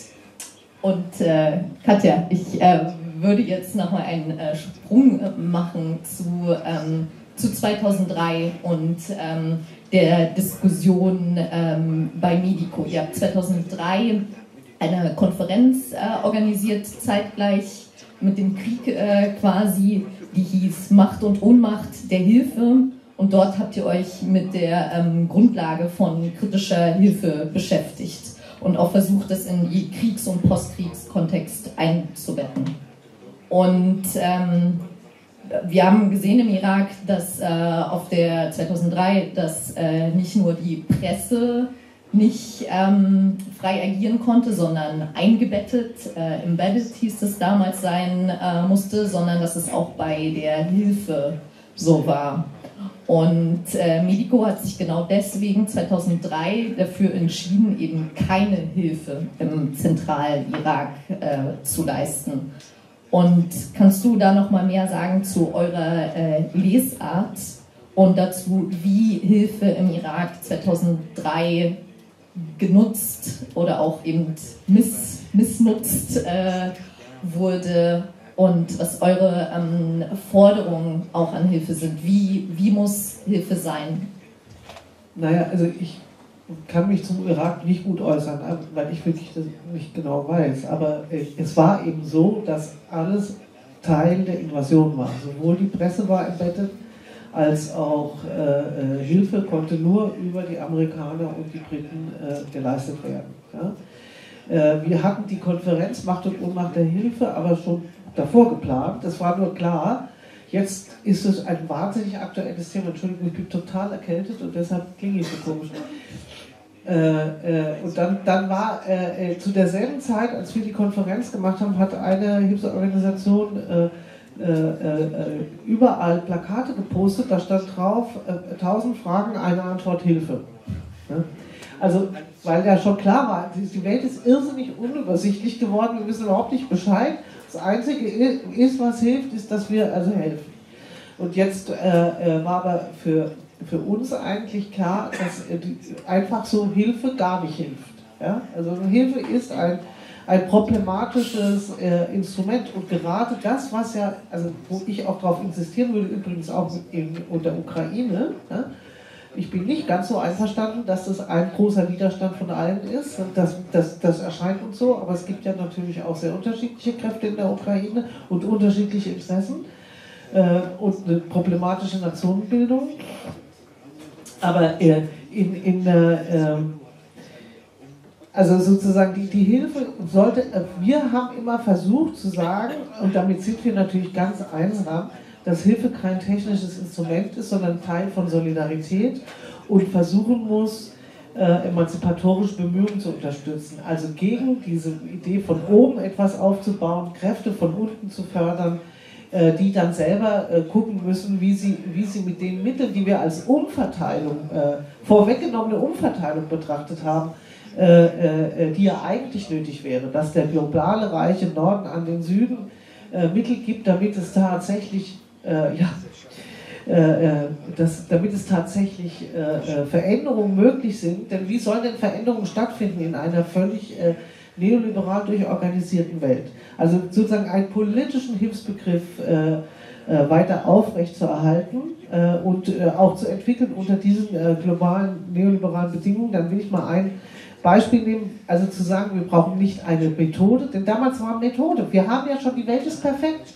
Ja, die Welt braucht nur noch äh, kleine Änderungen, ja, und da können die Hilfsorganisationen mit einer richtigen Methode was erreichen, ja, irgendwie Wasseraufbereitung oder irgendwelche technischen Dinge. Und daran ist ja die ganze Irak-Invasion gescheitert, dass sie wirklich glaubten, wenn sie Saddam Hussein haben, dann haben sie den Krieg gewonnen. Und dann ging er erst los. Also auch die Dummheit, die damals herrschte. Und dagegen war die Idee zu sagen, also es muss eine politische Hilfe geben, ja, die versteht, dass sie eine problematische Geschichte hat, dass sie eine problematische Praxis hat, nämlich immer auch eine koloniale Praxis. Ja. Also das, das war, deswegen haben wir sozusagen gesagt, wir machen die Losung Hilfe verteidigen, weil Hilfe ist ein Recht aller Menschen, die in Not sind. Äh, kritisieren, also verstehen, dass sie immer auch gleichzeitig eine patriarchale, eine koloniale Hilfe ist und deshalb äh, Leuten was überstimmt und Hilfe abschaffen. Ja? Also dass es natürlich darum geht, dass eigene Institutionen, eigene Staatlichkeiten, eigene Gesellschaft entstehen, die ihren Leuten Hilfe leistet. Das war die Idee dieser Konferenz, äh, äh, wodurch wir einen gewissen Auftritt hatten, weil es halt so war, dass die dass klar war, dass plötzlich Hilfe Teil von Kriegsführung ist. Und das wollte natürlich, das wollten sehr wenig Hilfsorganisationen damals. Noch ein letzter Satz auf der Konferenz war auch das Deutsche Rote Kreuz und da war der Chef, der hat dann gesagt, wir sind vollkommen einverstanden mit dem allem hier. Wir haben nur das Problem, also wir sind eigentlich auch für politische Hilfe, aber wir haben das Problem, dass wir unsere Neutralität verteidigen müssen. Das war die Situation damals und das ist auch heute noch so. Mhm. Und äh, gerade beim Stichwort ähm, Hilfe, Gilbert, du hast, ähm, du hast ja schon äh, erzählt, wie in den 90er Jahren durch die ähm, aktive Zerstörung der Infrastruktur im Irak eigentlich ähm, ja, der Weg geebnet wurde für ähm, die katastrophale Situation 2003 ähm, und danach. Und äh, in dem Kontext spielt Hilfe eben auch eine ziemlich große Rolle. Und zwar die ähm, Art und Weise, wie Hilfe geleistet wurde, auch in der Zeit ähm, des Embargos und ähm, wir ähm, können da sehen, wie eigentlich in den 90er Jahren die politische Ökonomie, insbesondere Kurdistans, aber auch Zentraliraks, ähm, gelegt wurde, nämlich die massive Abhängigkeit von Importen äh, im Irak, eben auch noch 20 Jahre später. Importe aus der Türkei, aus dem Iran und so weiter. Und ähm, Stuber, das ist ja gerade ein Thema, ähm, mit dem du dich ähm, beschäftigst. Und ähm, da würde mich interessieren, äh, dass du uns nochmal ausführst, eben, welche Bedeutung ähm, hatte Hilfe für die ähm, Ökonomie in Kurdistan und im Zentralirak und was bedeutet das eben heute? Ähm, ja, danke. Ähm, genau, also ähm, genau, ich würde dir zustimmen und auch ähm, damit starten, das hatten wir jetzt schon einige Male gesagt, ist eigentlich ähm, nicht unbedingt nur 2003 ein wichtiger Zeitpunkt ist, sondern 1991 äh, zum einen äh, wegen des Aufstandes, äh, zum anderen ähm, weil da schon eine imperialistische US-Politik begonnen hat, äh, und zwar die Sanktionsphase. Ähm, es gibt äh, eine ähm, ein Slogan, äh, wie das äh, auch benannt worden ist, The Invisible War, der unsichtbare Krieg. Ähm, ich habe gerade die Autorin vergessen von diesem Buch. Ähm, genau, aber ähm, Joy Gordon, ähm, genau, die äh, dieses Buch geschrieben hat und quasi äh, schon, also darin schon erklärt hat, okay, wie, ähm, wie dieser Krieg eigentlich damals schon äh, losging. Ähm, und ich glaube, ich kenne mich am besten im Bereich Landwirtschaft aus. Ähm, also direkt zu Beginn des, äh, der Sanktionsphase, äh, was wir einmal sehen, ist zum Beispiel, dass äh, Saddam Hussein äh, anfängt im Zentralirak äh, erstmal äh, die ersten zwei Jahre in die Landwirtschaft zu investieren und zum Beispiel Kampagnen zur Bodenentsalzung beginnt und ähm, genau versucht es wieder fruchtbar zu machen. Es geht aber nicht darum, quasi die Landwirtschaft zu unterstützen oder ähm, Bäuerinnen zu unterstützen, sondern es geht darum, dass ähm, genau, Saddam sich das, also das eigene Überleben darüber äh, äh, sichert, äh, dass die äh, Nahrungsmittelversorgung der Bevölkerung gesichert äh, wird und auch ähm, besonderes Essen für sich und, seine, und sein Regime ähm, genau, sicherstellt. Ähm, diese Politik hat dann mit dem Oil for Food Program etwas nachgelassen. Das Oil for Food Program ist ein sehr wichtiges Programm, das dann äh, 97, glaube ich, gestartet hat. Und ähm, ähm, das ist ein, also wichtig, weil zum einen äh, wurde damit die Verteilung des Essens äh, wurde dann in das Hand des Regimes gelegt und das, äh, das Regime hat quasi ähm, Nahrungsmittel äh, an die Bevölkerung ver verteilt. Und das ist halt ähm, also ein sehr charakteristisches Beispiel für auch die Wirtschaft heute noch äh, weil dann zum Beispiel ähm, diese Bevölkerung abhängig gemacht worden ist von dem Staat und heute diese Bevölkerung abhängig ist von den Milizen und Parteien, ihnen quasi Essen oder äh, Gehälter oder was auch immer zu geben. Ähm, und ähm, au außerdem äh, hat es dazu geführt, dass zum Beispiel Oppositionelle äh, und deren Familien keine Nahrung erhielten. Also wurde diese Nahrung damals dann als Waffe äh, des Regimes genutzt. Zeit geht so weit äh, schnell vorbei. Ja, äh, genau. Und was auch wichtig ist, ist ähm, genau das, also dieses All for Food Programm. Man muss sich überlegen, also äh, ganz einfach. Okay, ähm, äh, auf dem Weltmarkt wird jetzt irakisches Öl angeboten ähm, und, ähm, und im Gegenzug äh, wird mit dem Geld, was davon äh, gewonnen wird, das ist in einem UN-Fund und daraus wird jetzt eingekauft für den Irak. Und dann kauft man aus der Türkei zum Beispiel ein und die Türkei äh, macht da viel guten Gewinn, aber man äh, agiert in, in einem Kontext, als ob es im Irak selber keine produktiven Kräfte gäbe und keine Bäuerinnen gäbe und keine anderen Kräfte, die ihr eigenes Essen herstellen. Ähm, und ähm, dieses System äh, der Importe, also das geht auch schon davor, geschichtlich, dann können wir auch zurückgehen, aber dafür habe ich jetzt keine Zeit. Äh, aber äh, ist quasi schon sehr lange etabliert und ähm, ist etwas, was bis heute quasi die, das, äh, die Wirtschaft prägt. Und ähm, genau, und 2003 äh, war die irakische Wirtschaft äh, schon zerstört und, äh, und die Infrastruktur weitestgehend ähm, vernachlässigt. Habe ich noch Zeit, um 2003 zu sagen? Ähm, mhm. Genau, also 2003 ist vielleicht noch wichtig, ähm, wird die, also ist glaube ich ein, äh, ein Beispiel, was für viele Linke auch in Deutschland und in anderen Gegenden äh, irgendwie ein prägendes äh, Ereignis ist, ist zum Beispiel der Bombenangriff auf äh, die Saatgutbank in Abu Ghraib. Ähm, das war die nationale irakische Saatgutbank ähm, und hier lagerten seit den 70er Jahren äh, Tausende von äh, Saatgutsorten. Ähm, und es gibt äh, nicht so viele Informationen, ehrlich gesagt, dazu. Also äh, ich mache äh, momentan für die Rosa-Luxemburg-Stiftung zusammen mit Jamal und äh, anderen äh, äh, Wissenschaftlern im Irak eine Studie dazu. Ähm, und wir haben Interviews dazu geführt mit verschiedenen Menschen in den Landwirtschaftsbehörden und ähm, da, da, ist die Antwort immer, ähm, also man möchte sich dazu nicht wirklich äußern. Ähm, aber wichtig ist, äh, dass äh, Bremer damals diese 100 äh, Gesetze erlassen hat und eines davon besagt ja, dass es nun ein Patentrecht geben soll auf bestimmte Saatgutsorten und unter anderem hat Monsanto, das heute Bayer ist, sehr stark davon profitiert und ähm, was wir sehen können, also wie hat sich das überhaupt ausgewirkt auf die irakischen Bäuerinnen und Verhältnisse.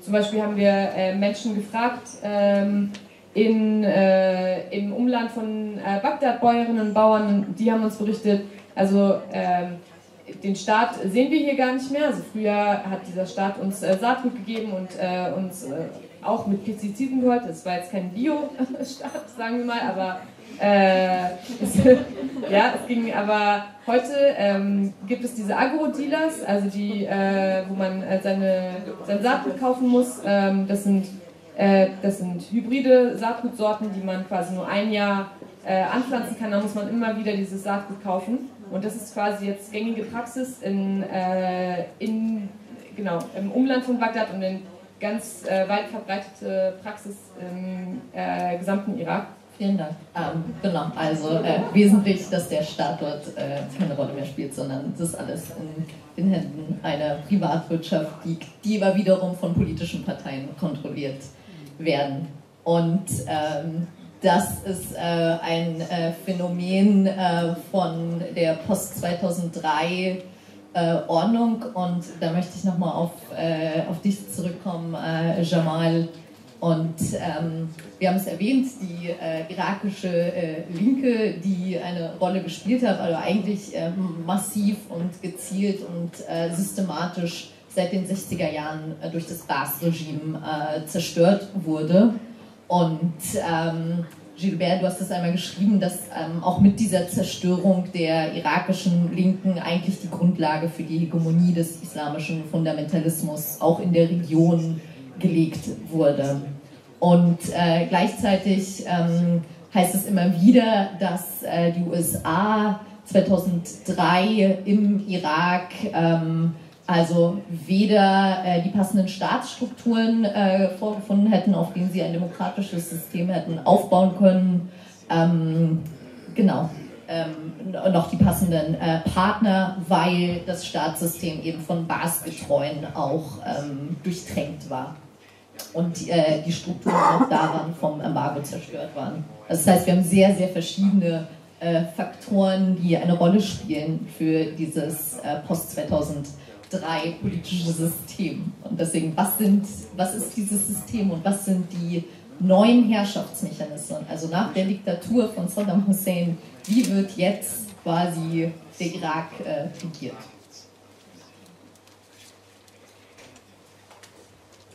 شكرا انصار يعني هذه حقيقه انه اليسار بالعراق تعرض لأكثر من ضربة من البعثيين ويعني كانت محاولات لتدمير اليسار والقضاء على الشيوعية آه، بالعراق لأنه حزب البعث كان ما يسمح لأي خطاب أن يحمل هذه الصبغه التقدمية غير الخطاب القومي البعثي.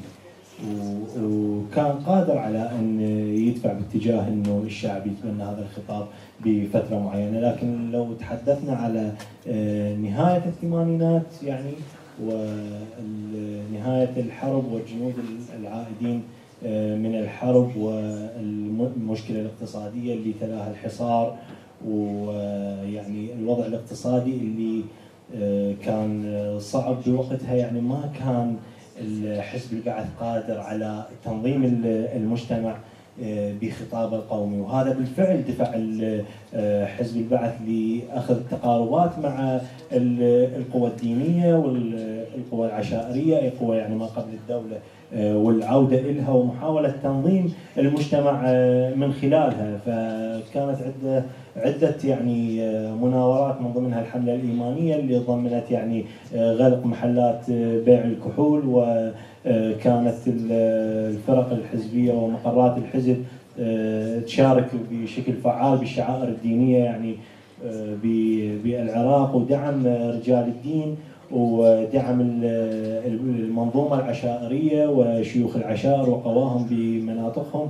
وهذا يعني بالفعل كان أرضية بالنسبة للشعب العراقي مهدت مهدت بداخل المجتمع لقبول هذا الخطاب الديني اللي يعني ما كان متوقع بالنسبة لصدام حسين يعني. كانت محاولته هي لسحب البساط من رجال الدين اللي أخذوا وضع وصاروا قادرين على أن يكونون موجودين بالفعل بالمجتمع بعد انتهاء الحرب العراقية الإيرانية. يعني هذا هذا اللي نحكي عنه بما قبل الاحتلال لكن عندما وصل الاحتلال واجت المعارضة من الخارج اللي أغلبها معارضة دينية وقومية الأمريكان يعني راحوا بهذا الاتجاه يعني بالفعل.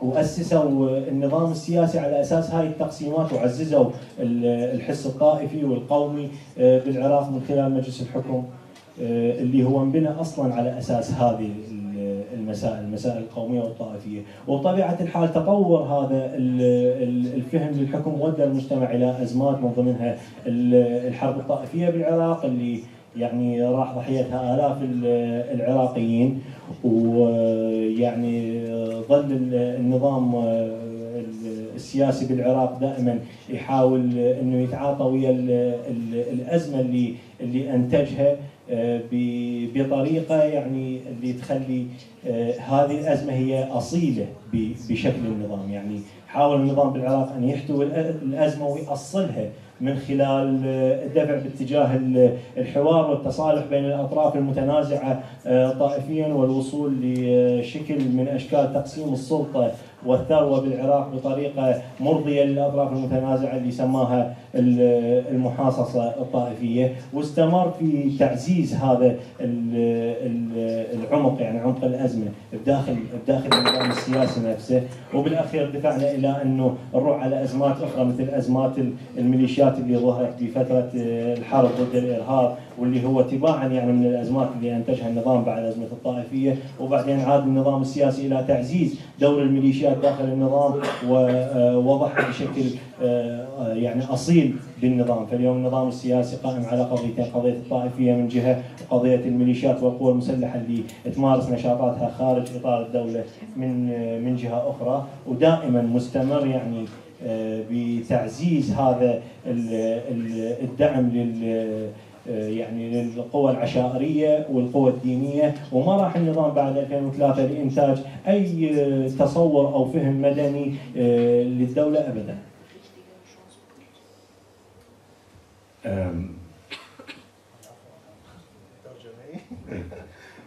في في بعد آه، يا ريت تحكي عنه كمان لأنه ما ما ما, ذكرته.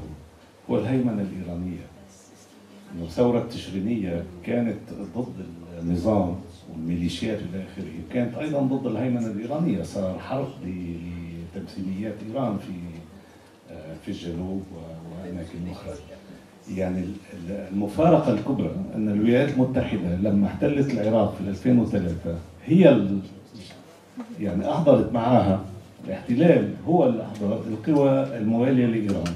يعني المجلس الأعلى للثوره الإسلامية وحزب الدعوة كلها كانوا في المعارضة مع آه، شو اسمه آه، أحمد الشلبي ها؟ يلي يلي اشتغل مع الأمريكان. وهذول الجماعة هم اللي أدخلوهم الأمريكان وسلموهم السلطة يعني عمليا بالمراهنة على إنه هم يساعدوهم في في في هذا المجال. فهذا الجانب من يعني ما هو الش- الشعور السائد وخاصة ضمن الجيل الجديد وغيره إزاء الموضوع الهيمنة الإيرانية. Dafür hast du eine Minute Zeit.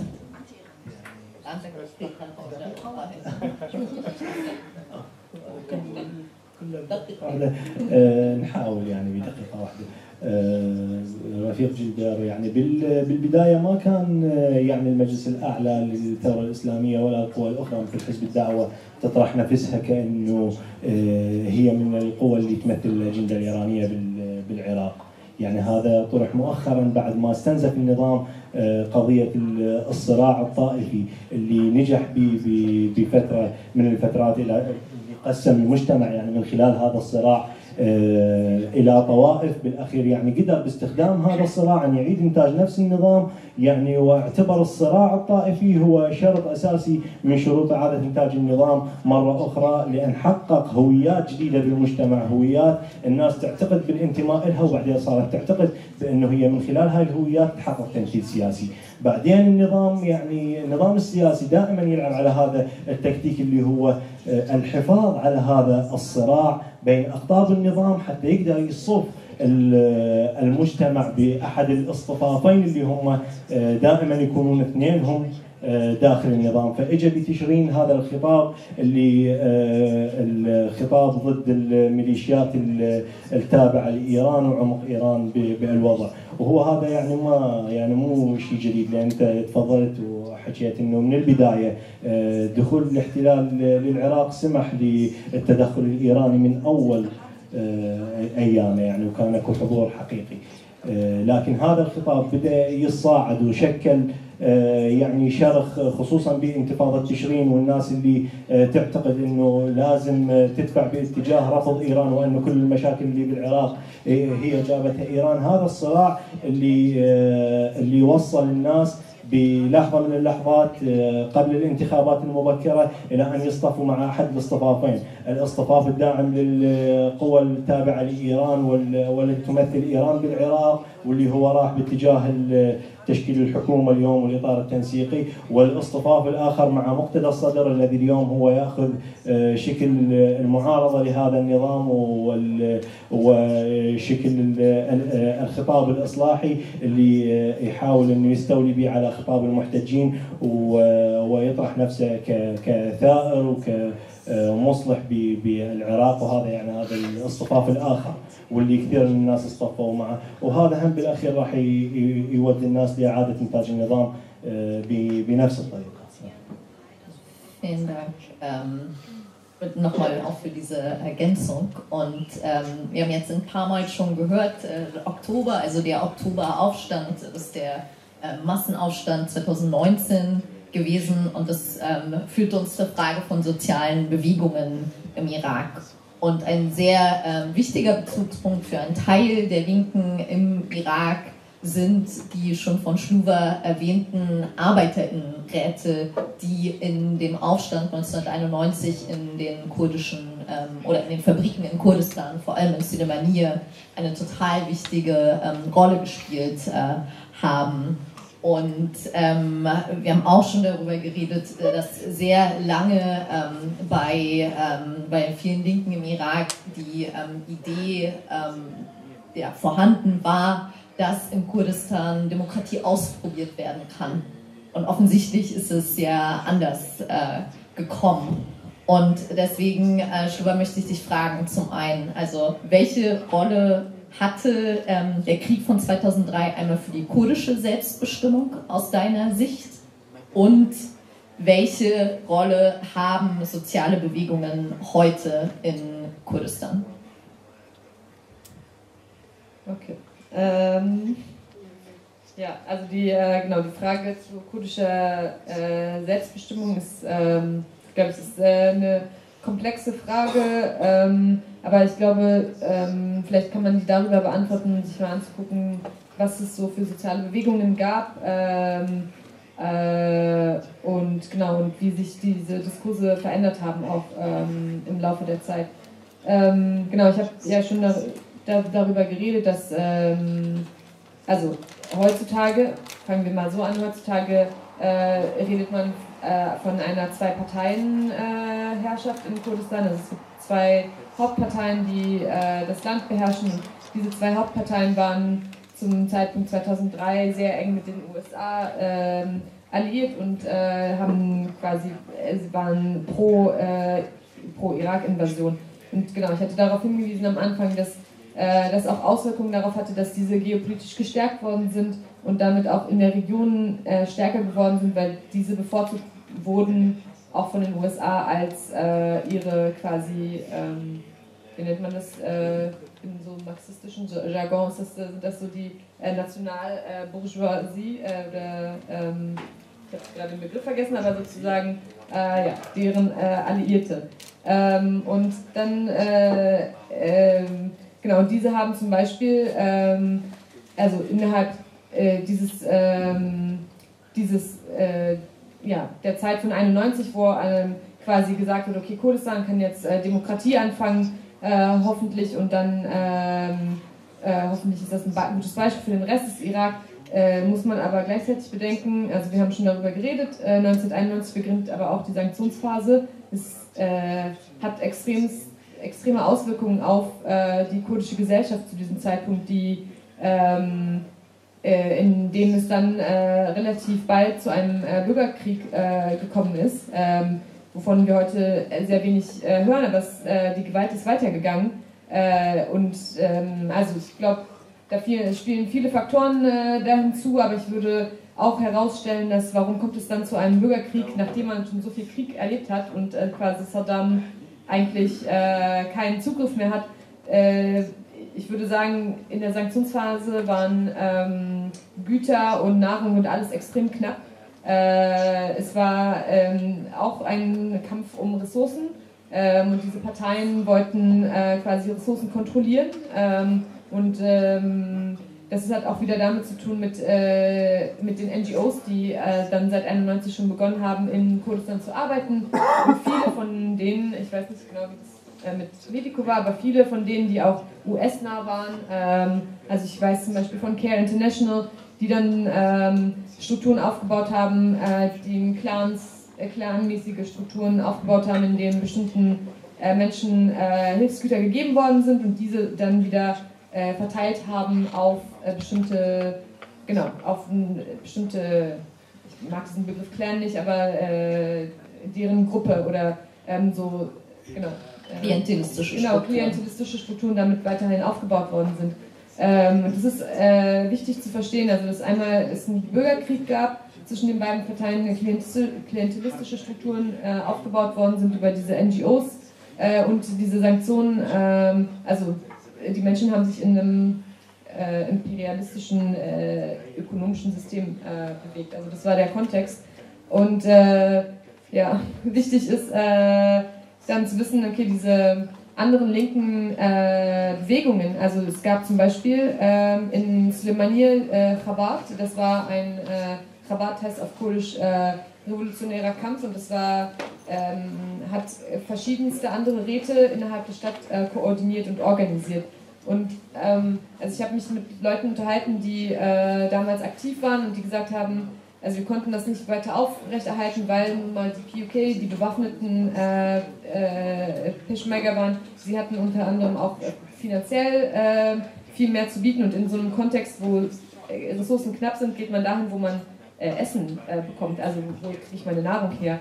Ähm, und das war einfach, dass diese Strukturen dann am Ende zu schwach waren, einerseits und andererseits von ihnen dominiert worden sind. Und ähm, genau, ich kann da andere äh, Beispiele noch geben, aber vielleicht. Kannst du äh, noch ein Beispiel von jetzt, von der Situation? Genau, ähm, und ich glaube, viele von diesen Strukturen sind äh, kaputt gegangen, aber dann nach 2003 ähm, haben sich, haben, gab es wieder eine Formierung von, ähm, von zivilgesellschaftlichen Akteuren und Demonstrationen. Zum Beispiel ein wichtiges Beispiel ist äh, 2006, das ist relativ unbekannt, Halabja, wir haben über Halabja geredet, die Stadt, die quasi äh, während Anfall äh, bombardiert worden ist und äh, mit Giftgas äh, und äh, wo 5000 Menschen quasi gestorben sind.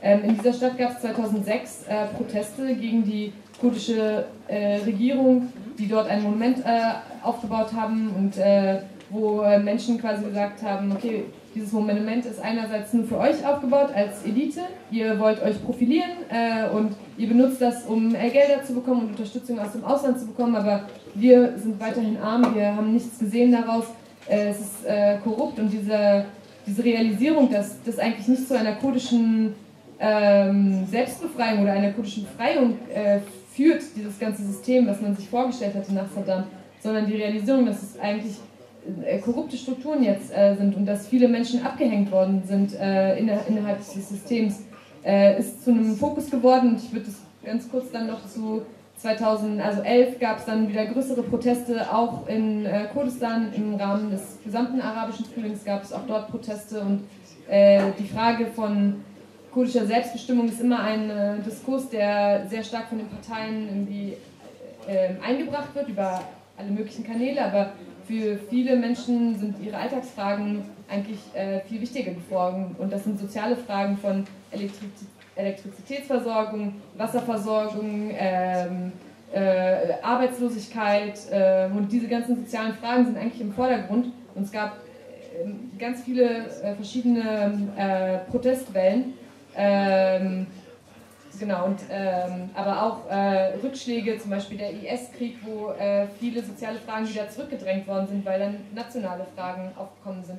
Aber gleichzeitig gab es äh, immer wieder 2018 äh, Proteste und 2019 in Bagdad war ein wichtiger äh, Moment auch in Kurdistan, weil man es wahrgenommen hat. Es gab vereinzelt Verbindungen dazu, ähm, aber es ist, kommt äh, einfach, äh, dieser Austausch findet viel mehr statt. Äh, wir haben es gestern mit den Filmen gesehen, dass dieser Aus Austausch äh, mehr stattfindet zwischen Kurdistan und dem Rest und das, äh, und das sozusagen die Realisierung, wir haben eigentlich viele gemeinsame ähm, Probleme, die sozialer Natur sind, äh, kommt eben auf. Und im Anschluss an die Situation in Kurdistan, wie ist die ähm, Situation von sozialen Bewegungen im Zentralirak? Also seit 2011 ähm, gibt es im Zentralirak massive, jährlich stattfindende Proteste, die seit 2016 auch eine eigentlich massive antireligiöse äh, Rhetorik haben. 2019 eine sehr starke auch anti-iranische ähm, Rhetorik. Ihr hattet das gerade schon ähm, angesprochen. Kannst du, ähm, Jamal, diese Bewegungen für uns nochmal ähm, einordnen, auch welche äh, Rolle sie gespielt haben bei deiner ähm, politischen, äh, politischen Entwicklung? Und was ist das Verhältnis zwischen den sozialen Bewegungen im Zentralirak und den politischen linken Parteien, von denen es sehr, sehr viele gibt, diesen politischen Parteien und auch den ähm, Gewerkschaften. Wie ist da das Verhältnis? Äh, welche Rolle spielen sie?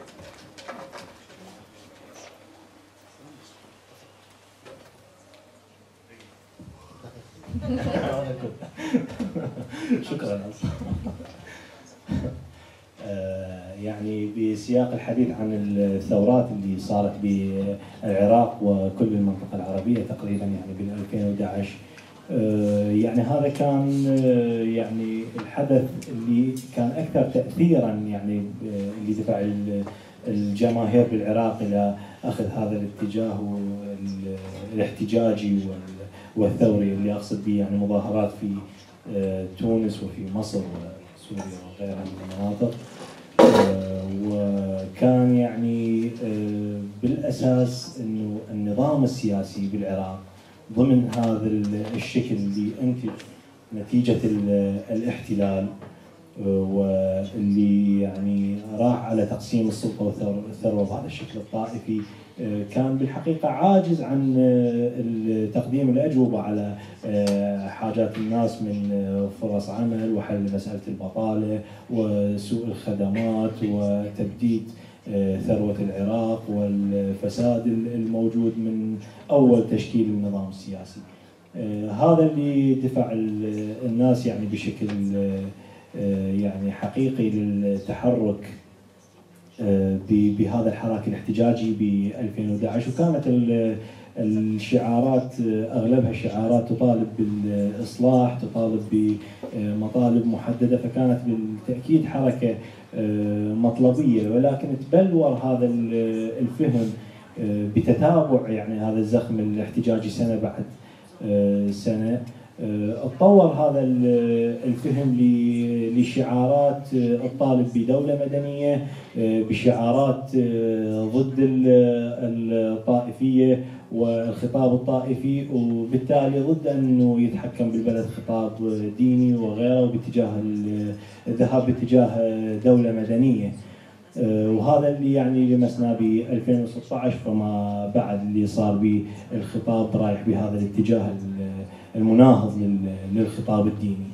أما ب 2019 اللي هي يعني أكثر حالات الحركة الاحتجاجية بالعراق وضوحا رفعت شعارات جذرية بوجه النظام لأنه النظام دائما أثبت عجزه عن تقديم أي أجوبة غير العنف والقمع.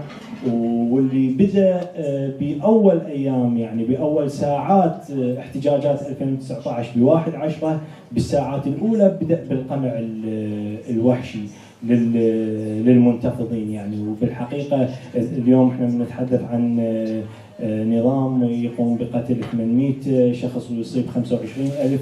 هذا يعني حملة لإبادة المحتجين. أرقام مخيفة وكان يعني سلوك عنيف بشكل كبير ويعني كان النظام همجي بالتعاطي مع تطور الحركة الاحتجاجية. فدفع المحتجين لحمل شعارات جذرية الشعب يريد إسقاط النظام بشكل مباشر.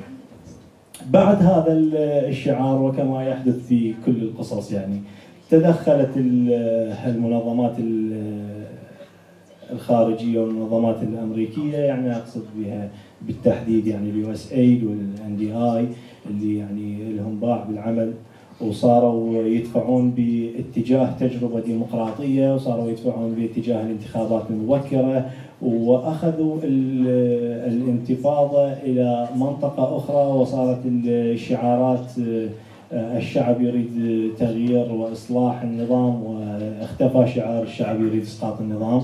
وطبعا انصرفت ملايين الدولارات آه، بهاي المنطقة. آه، وراحت الناس على الانتخابات المبكرة وشكلت قوى سياسية آه، تدعو بال- بالدولة المدنية من خلال خطاب ليبرالي. وراحوا على الانتخابات والتجربة الديمقراطية اللي أعادت إنتاج النظام بنفس الطريقة السابقة.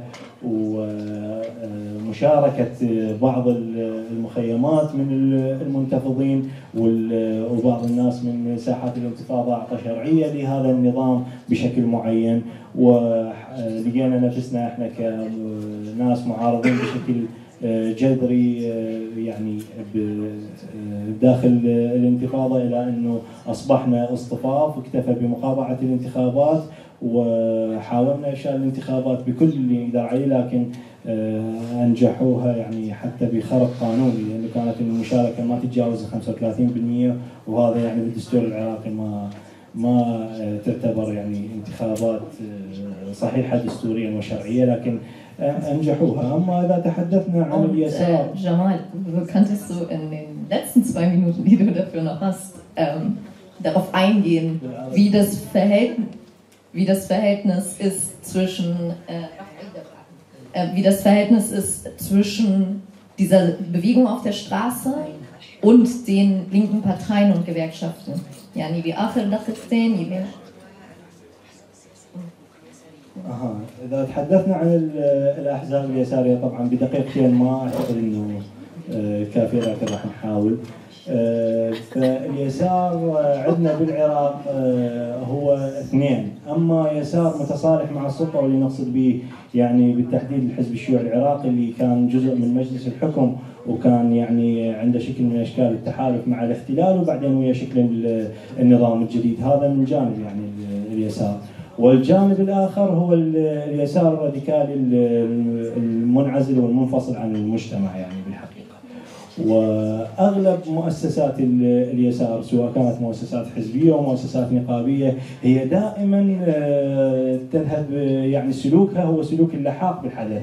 آه، إذا تحدثنا عن نقابات العمال نشاهد العمال يذهبون بمطالبهم وينسقون يعني مظاهراتهم ويحدث الحدث ويختارون آه، تمثيل لهم ودائما يعني هذا التمثيل يكون من الصدريين لأن هم اللي مصدين بهاي المسائل. وبالأخير بعد الحدث آه، تجي النقابات والأحزاب اليسارية والشيوعية تلحق بالحدث وتحاول إنه تكون موجودة يعني ضمن الحدث، لكن آه، عفوا يعني اخذ شوية وقت، لكن ب 2019 كثير من المجموعات شكلت داخل الانتفاضة وراحت باتجاه ان تنتج خطاب سياسي داخل الانتفاضة، خطاب يعني موجود ضمن حركة المجتمع وينمو بنمو حركة المجتمع ويتطور تطورها.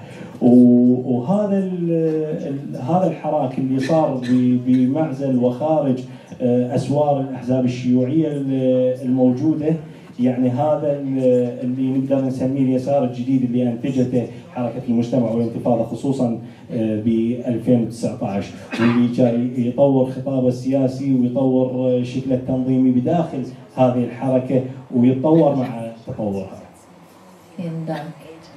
Und äh, für mich war auch diese Tashrin-Bewegung äh, 2019 unglaublich äh, beeindruckend, weil sie gerade, wie du es beschrieben hast, eigentlich diese Post-2003-Ordnung umgekehrt hat. Sie hat ähm, eben den Sturz dieses Systems gefordert. Und das war ähm, extrem beeindruckend als Forderung, aber auch angesichts eben der massiven Gewalt ähm, von Kräften innerhalb des Landes, aber eben auch zum Beispiel durch die ähm, iranische Unterstützung oder eben auch die Soft Power, die du erwähnt hast, durch äh, NGOs zum Beispiel.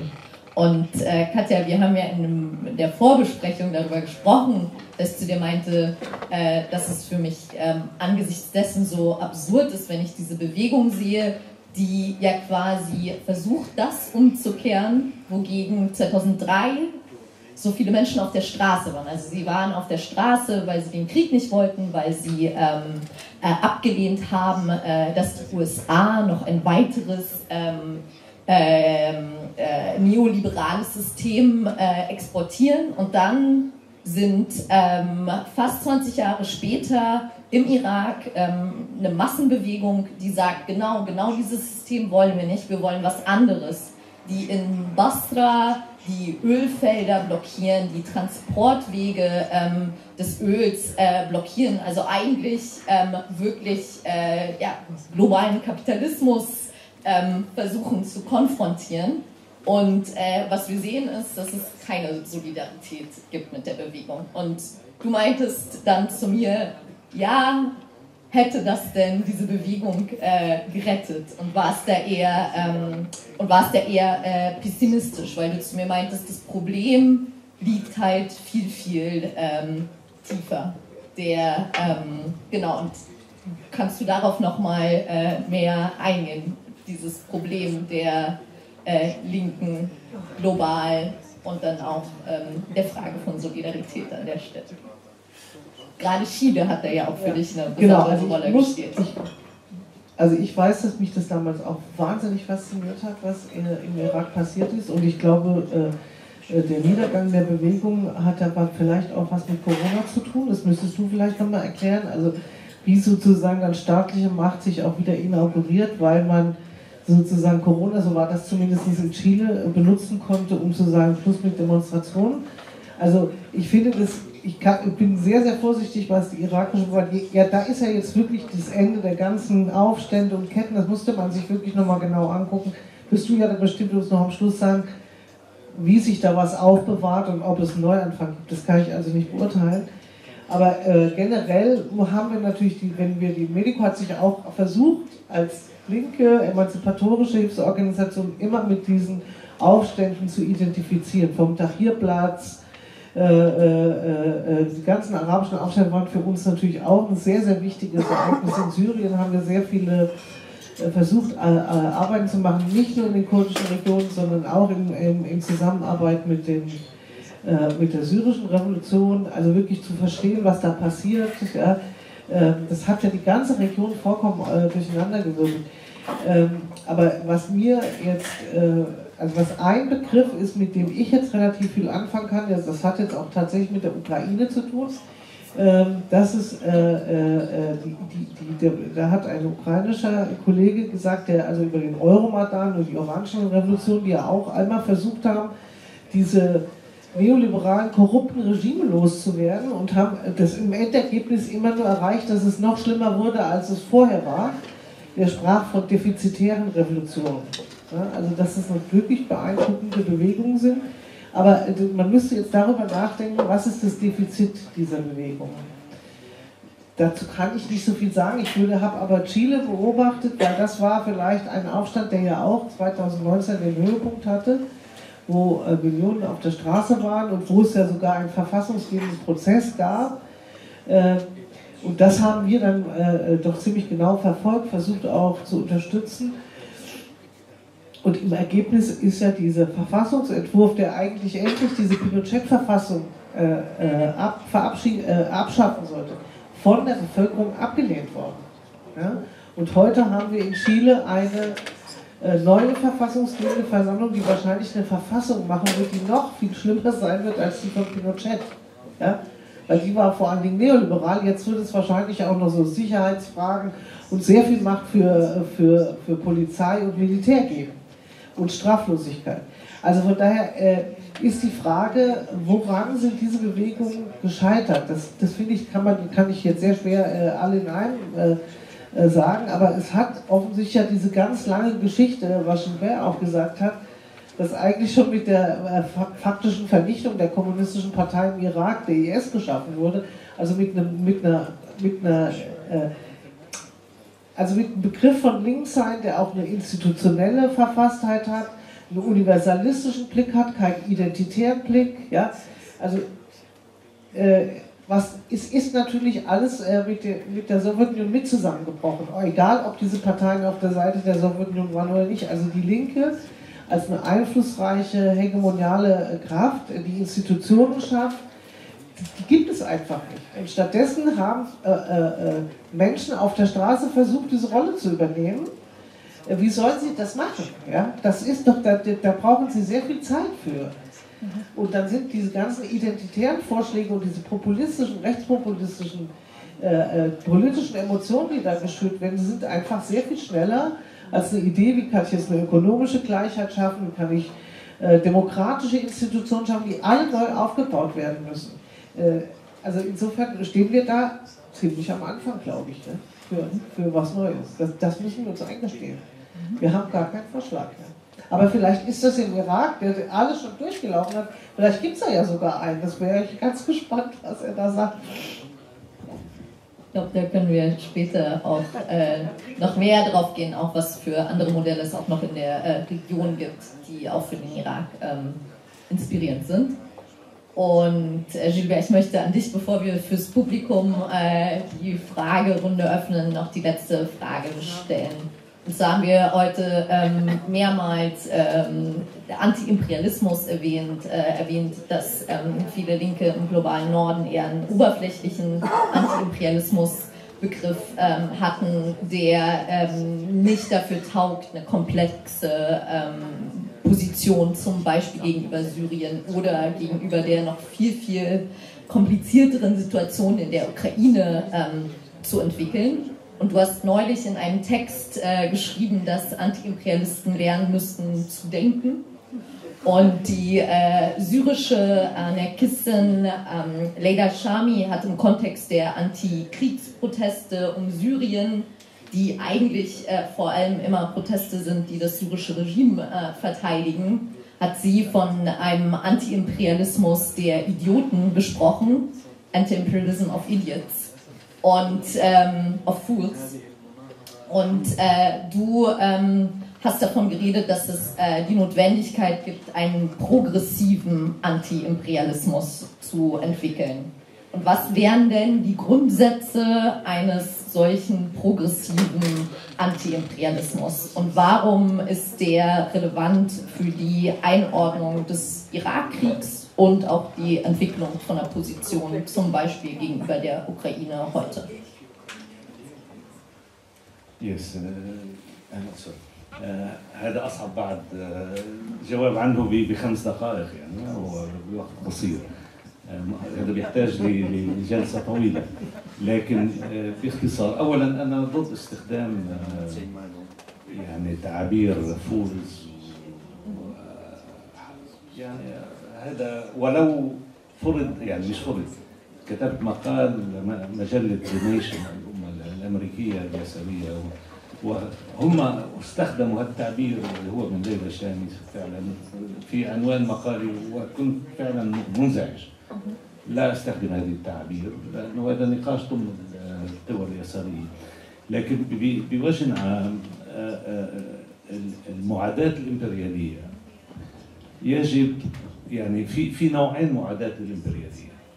أو نعتبر معاداة الإمبريالية أنها هدف بحد ذاتها وبالتالي نعين إمبريالية واحدة كعدو هي الإمبريالية الأمريكية والغربية بوجه عام ونقف موقف بناء على معاداة هذه القوى. وبالتالي كل موقف تقفه أمريكا معها حلفائها نحن نقف الموقف المضاد. هذا اللي سمته هي ايديوتس أو فولز أو آه على كل بدون استخدام هذا التعبير هذا موقف خط خطير يعني في رأيي لأنه يؤدي إلى آه اصطفافات سيئة جدا. من الماضي آه مثلا دعم المقاومة المسلحة بالعراق. يا أخي طب المقاومة المسلحة بالعراق كانت القاعدة وكانت تقتل من الشيعة أكثر ما تقتل بال بال بالأمريكيين. يعني ماذا تقصدون مثلا؟ يعني علينا كما قلت يعني منذ بعد الحرب الباردة أصبحت الأمور أكثر تعقيدا. فالموقف المضاد للإمبريالية يجب أن يكون مستند إلى القيمة الأساسية التي هي حق الشعوب في تقرير مصيرها.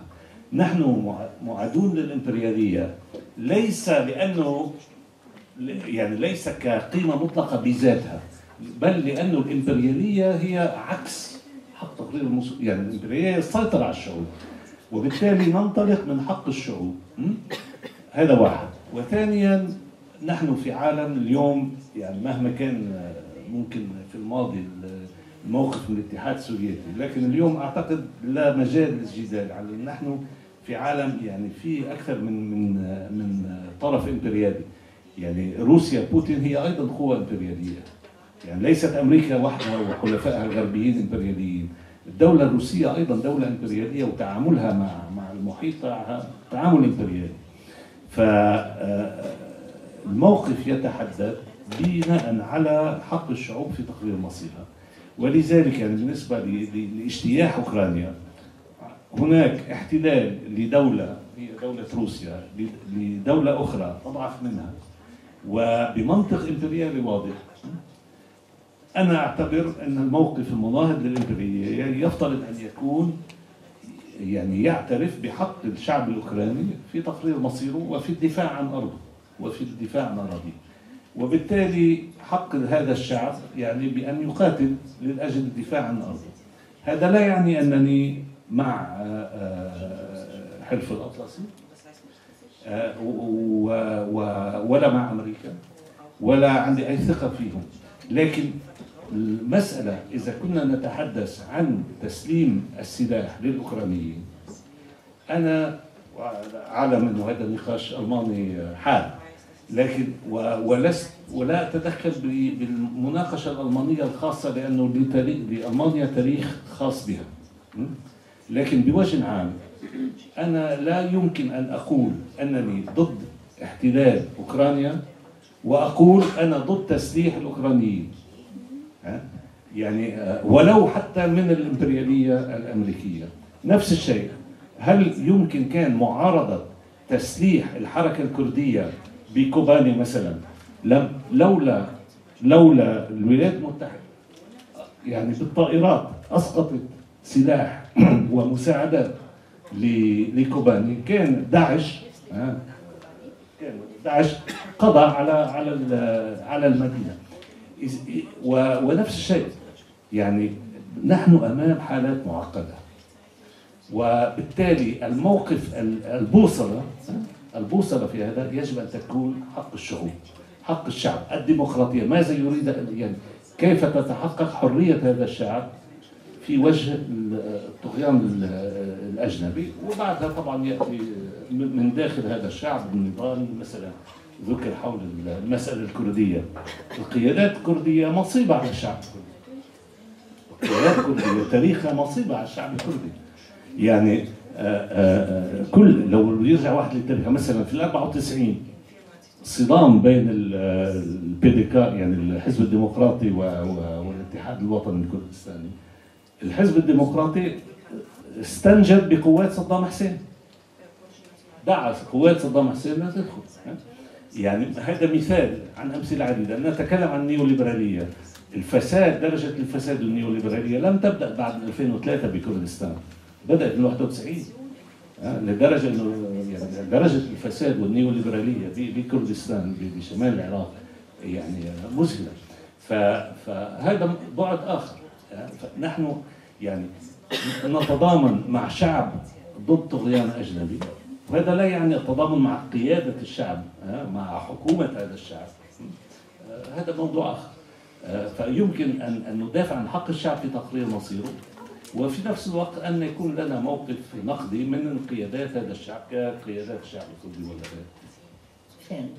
äh, Gilbert, für, diesen, äh, genau, für diese letzte Antwort. Und ich würde jetzt ähm, den Raum an euch geben. Wir haben jetzt noch circa eine halbe Stunde ähm, für eure Fragen, weil wir sehr spät erst angefangen haben. Und ich würde euch bitten, dass ihr eure Fragen präzise stellt, sagt, an wen ihr sie ähm, stellt. Und wer kommentieren möchte, kann das auch machen. Und da würde ich streng sein und würde euch genau eine Minute für Kommentare geben. Also bitte keine Parallelreferate. Genau. The floor is yours. sehe da hinten schon eine Hand. Bitte schön. Ja, soll ich die Frage auf Arabisch oder Deutsch stellen? Achso, genau, wir brauchen.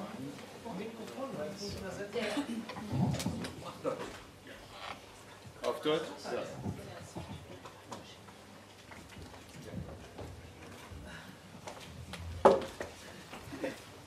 Ja, ähm, meine Frage ist eine ganz äh, pragmatische Frage und zwar, wie sieht äh, Jamal die Zukunft der Sicherheit im Land im Irak? Die äh, Mil- Milizienkräfte äh, haben sehr das, äh, die, das, äh, den, Krieg nach dem, äh, Bürgerkrieg äh, gefördert. Die sind bis auf die Zähne bewaffnet gewesen. Und die Frage, die, die ich stelle, ist, sind diese ähm, Milizien und diese Kräfte genauso ähm, bewaffnet wie vorhin? Und äh, warum ist die Ruhe jetzt eingekehrt und ob diese Ruhe ähm, für die Zukunft auch, äh, ob, ob diese Ruhe äh, noch Zukunft hat?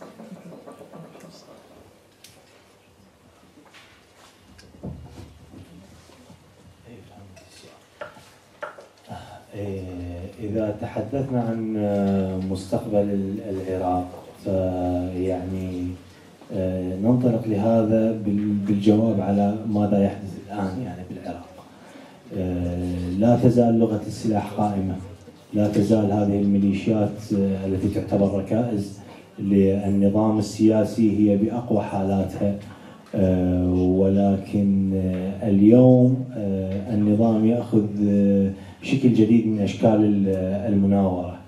فمقتدى الصدر أصبح اليوم خارج الحكومة والتيار الصدري وميليشيا الصدر أصبحت خارج الحكومة وأصبحت آه، يعني تطرح نفسها آه، على أساس أنه هي المعارضة ل- لهذا النظام. وهذا يخلي يخلي النظام بالعراق قادر على احتواء حتى آه، حركة المعارضة وحتى ساحات المعارضة و- والصدر دائما قادر على أن يخرج ملايين للشارع واختبرناه بأكثر من من حدث. ودائما يثبت لنا أنه هو قادر على أن يحرك آه، الناس بالشارع وقادر على أن يملأ الساحات بأتباعه. فاليوم يعني صارت آه، ال- الاحتجاج بالعراق بوجود هذا الشكل من الثورة المضادة وبوجود هذه الهيمنة من جناح من أجنحة النظام على آه، يعني على آه، هوية المعارضة للحكومة وهوية الإصلاح وهوية الاحتجاج هذا يجعل آه، الانتفاضة أصعب بالعراق. لكن بشكل عام آه، يعني آه، دائما إحنا مترقبين ل يعني لهذا عمق الصراع داخل النظام وعمق صراع هذه آه، هذه القوى يعني المتناحرة داخل آه، النظام السياسي.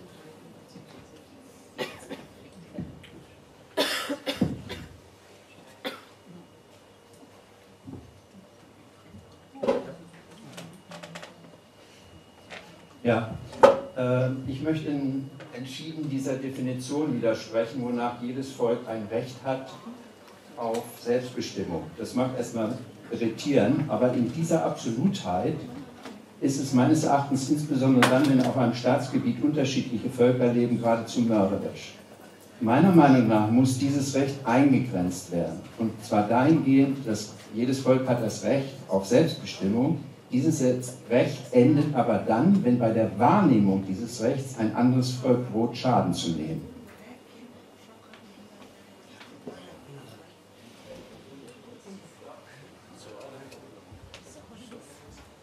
يعني هذا مش سؤال م- بل ملاحظة وطبعا آه، كما لحرية ال- الفرد حدود هي حرية الفرد الآخر حق الشعوب في تقرير مصيرها هو في تقرير مصيرها ليس تقرير مصير الآخرين. أكيد بس عم نتكلم هذا كلام مجرد عام. أما بعد ذلك علينا أن نناقش كل حالة ب يعني بتحليل واقعي للواقع الملموس يعني تحليل ملموس للواقع الملموس. فحسب كل حالة أكيد طبعا يعني ما فيش حقوق بالمطلق آه، ل- لأي طرف بدون أخذ الآخرين بعين الاعتبار. بس يبقى المبدأ الأساسي حق الشعب في تقرير مصيره. يعني بمعنى حتى عندما يصطدم هذا الحق بحق شعب آخر إذا لا زلنا لا زلنا في إطار مناقشه الحق وحق الآخر المبدأ الأساسي يبقى هو حق الشعب في تقرير مصيره حق الشعوب في تقرير مصيره Schön, da rechts war noch eine Frage. Und ihr könnt euch ruhig schon melden, damit ich eine Idee dann habe. Okay. Äh, ja.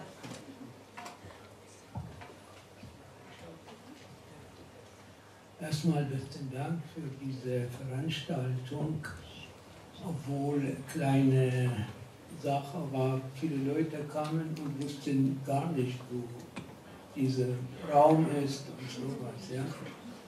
Da muss man in der Zukunft ein bisschen äh, daran denken. Ne? Äh, für solche heißen Themen eigentlich braucht man mindestens eine Woche das richtig zu verstehen und auch äh, ein bisschen darüber zu reden.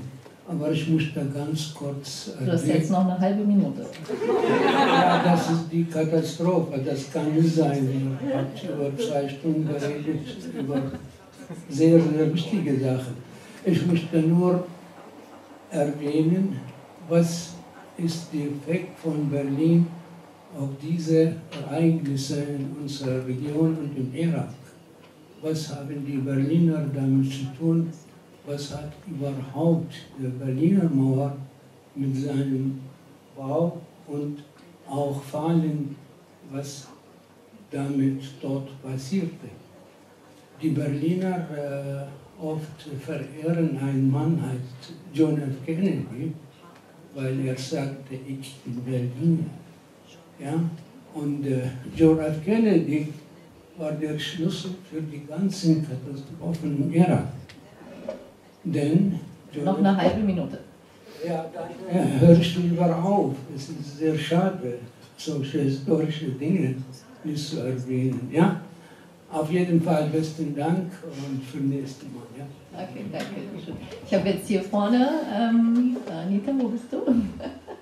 Genau, hier und äh, dann in der dritten Reihe links. Ähm, vielen Dank für eure Berichte. Es war sehr eindrücklich und auf jeden Fall sehr komplex.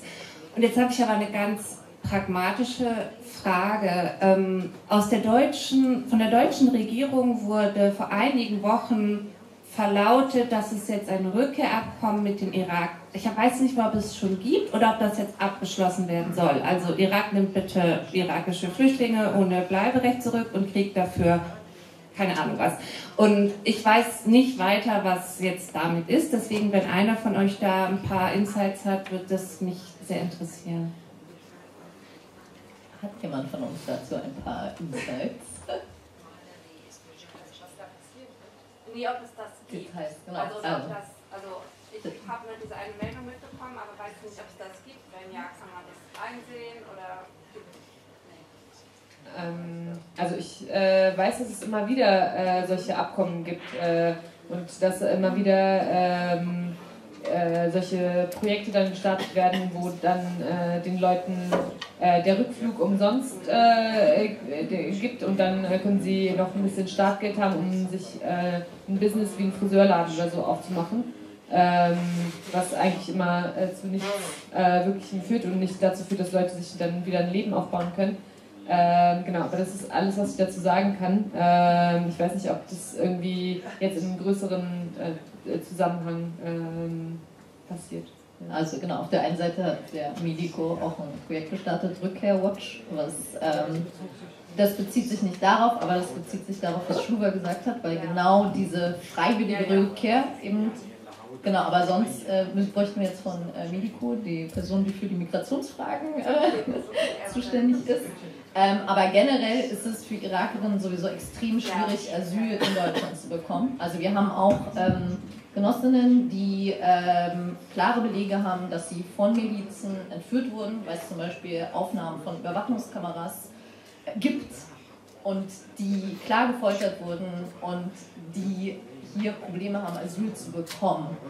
weil es aus Sicht ähm, Deutschlands eben es sich nicht um einen staatlichen Akteur handelt und es deswegen extrem äh, schwer ist und sowieso äh, nach 2003 ziemlich schnell damit begonnen wurde, dass Irakerinnen äh, sehr schwache Bleibechancen haben. Ja, ähm, vielen Dank auch von mir für eure gewollte Erfahrung, die ihr mit uns teilt heute Abend. Ähm, ich habe eine Frage an Jamal, beziehungsweise kann mir vorstellen, dass auch mehrere von euch da was zu sagen könnten, falls möglich. Und zwar ähm, zu der Frage der aktuellen Aufstände in Iran und den Zusammenhängen mit revolutionärem Potenzial in Irak. Mm, ja, sowohl als auch in, in beiden Staaten, Iran und Irak. Und vielleicht habt ihr da auch noch eine historische Perspektive drauf, wo ich nicht mehr die Frage formulieren kann. Aber es würde mich auch interessieren. Also Jamal, möchtest du damit anfangen? Ich glaube, Schuber, du kannst ja da auch die Perspektive aus Kurdistan zu äh, ergänzen.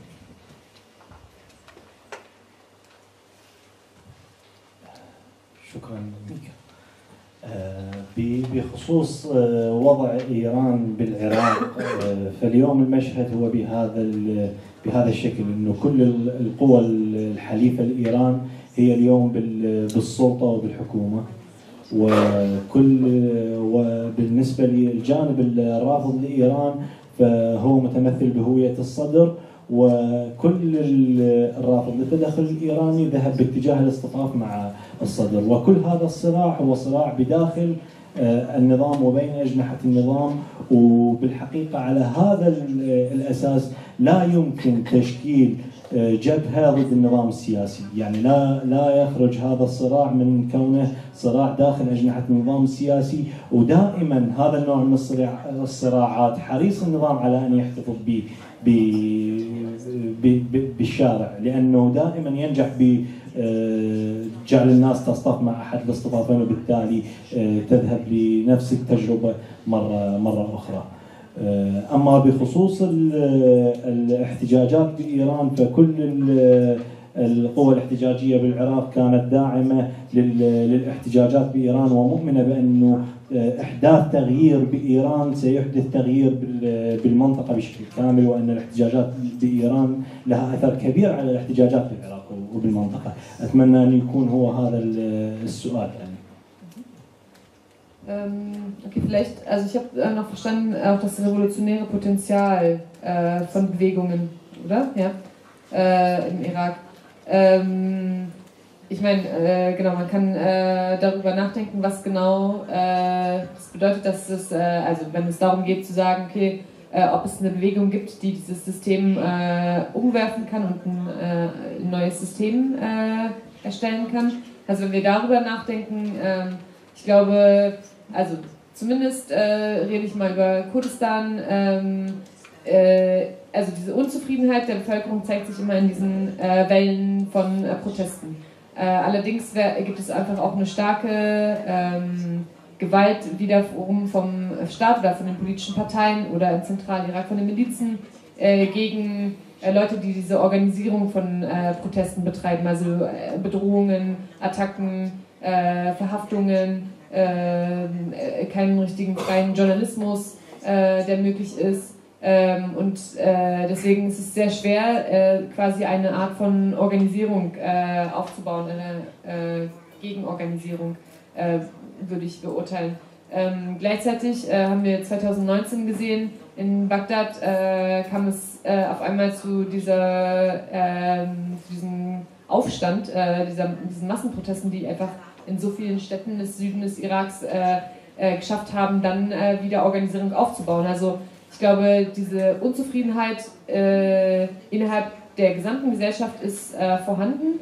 Ähm, und ich meine, bei, genau, bei Revolutionen weiß man, äh, es ist ein langer Prozess und es äh, kommt manchmal, also so wäre meine Auffassung, äh, kommt es zu Momenten, ähm, die Proteste anfeuern und ähm, genau, es ist äh, dann schwer vorhersehbar, ob es nicht doch wieder dazu kommt, dass diese Proteste dieses System umstürzen, weil das System hat selber auch keine richtigen Antworten auf äh, die Fragen und die Probleme, die es in der Gesellschaft gibt.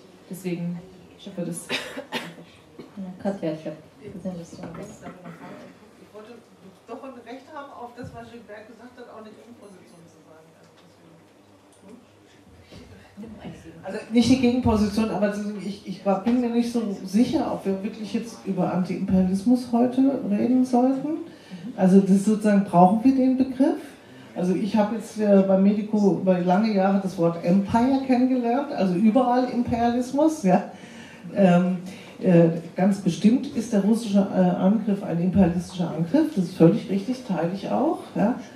Ähm, aber es ist ja gleichzeitig ist es ein Weltordnungskrieg, wo ganz andere Interessen auch noch eine Rolle spielen. Ja.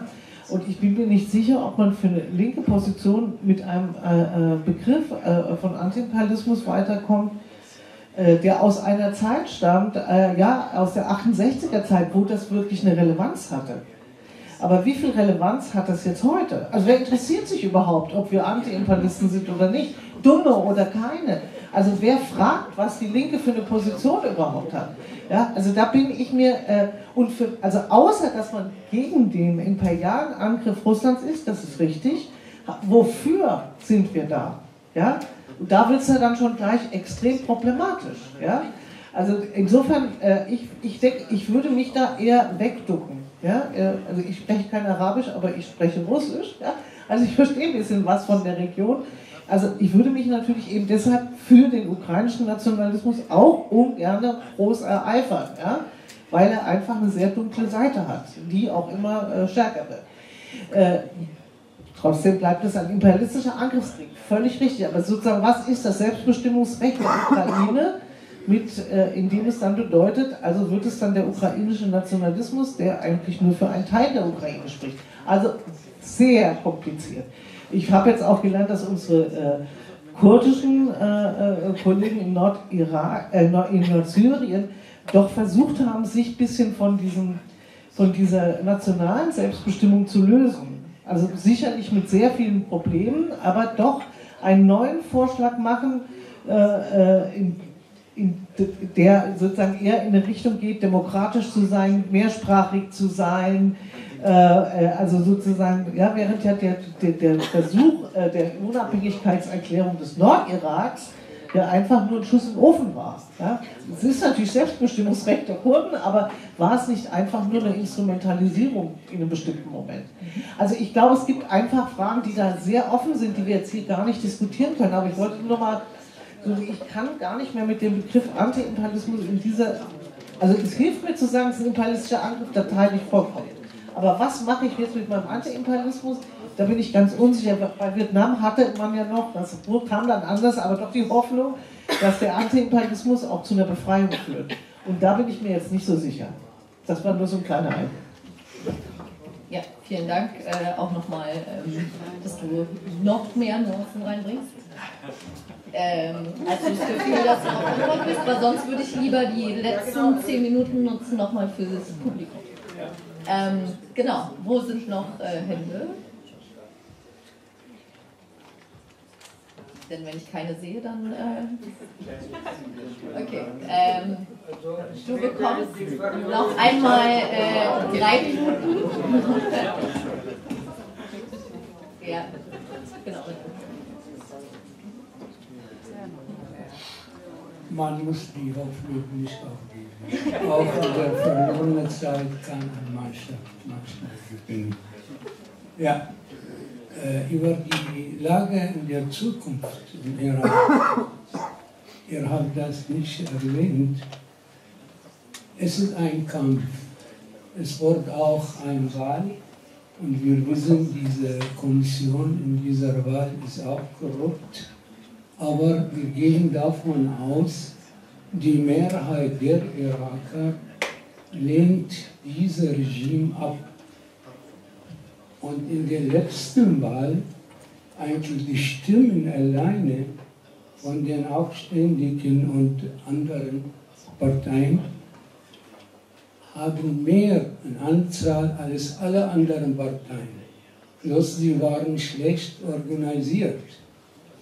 Und diese Hoffnung steht immer noch dass die Linken im Irak jetzt eine Art von Kommission, einen Block bilden können und auch an die Leute gehen, um diese gesamten Stimmen, die verloren sind, wirklich zu sammeln unter einer Richtung. Und das ist eine Hoffnung für eine große Vertretung dann in dem Parlament von Irak. Also man muss nicht die Sachen ganz schwarz sehen. Es gibt auch graue Zone, weiße Zone und man muss äh, historisch objektiv bisschen blicken. Danke. Vielen Dank. Und ich sehe jetzt erstmal keine Meldungen mehr und dann äh, würde ich nämlich äh, dieses Podium schließen und auch angesichts der Zeit keine abschließenden Worte sagen. Es war ähm, super komplex, deswegen äh, vielen Dank für eure sehr unterschiedlichen, kontroversen äh, Positionen.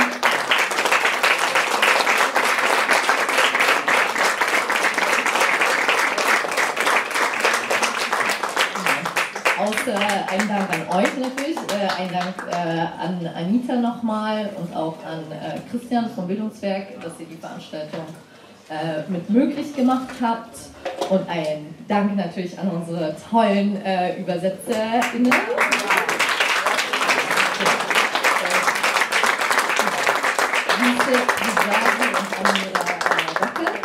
Und äh, danke an die äh, Technik vom äh, Orion. Vielen, vielen Dank. Auch danke äh, an Jakob, der euch die Übersetzungsgeräte rausgegeben hat. Und das ist das Stichwort dafür, dass ihr die bitte unbedingt in all ihren Einzelteilen äh, wieder zurückgebt. Und äh, genau, damit wünsche ich euch noch einen schönen Abend und hoffe, dass ihr viel von der Diskussion mitgenommen habt und auch weiter.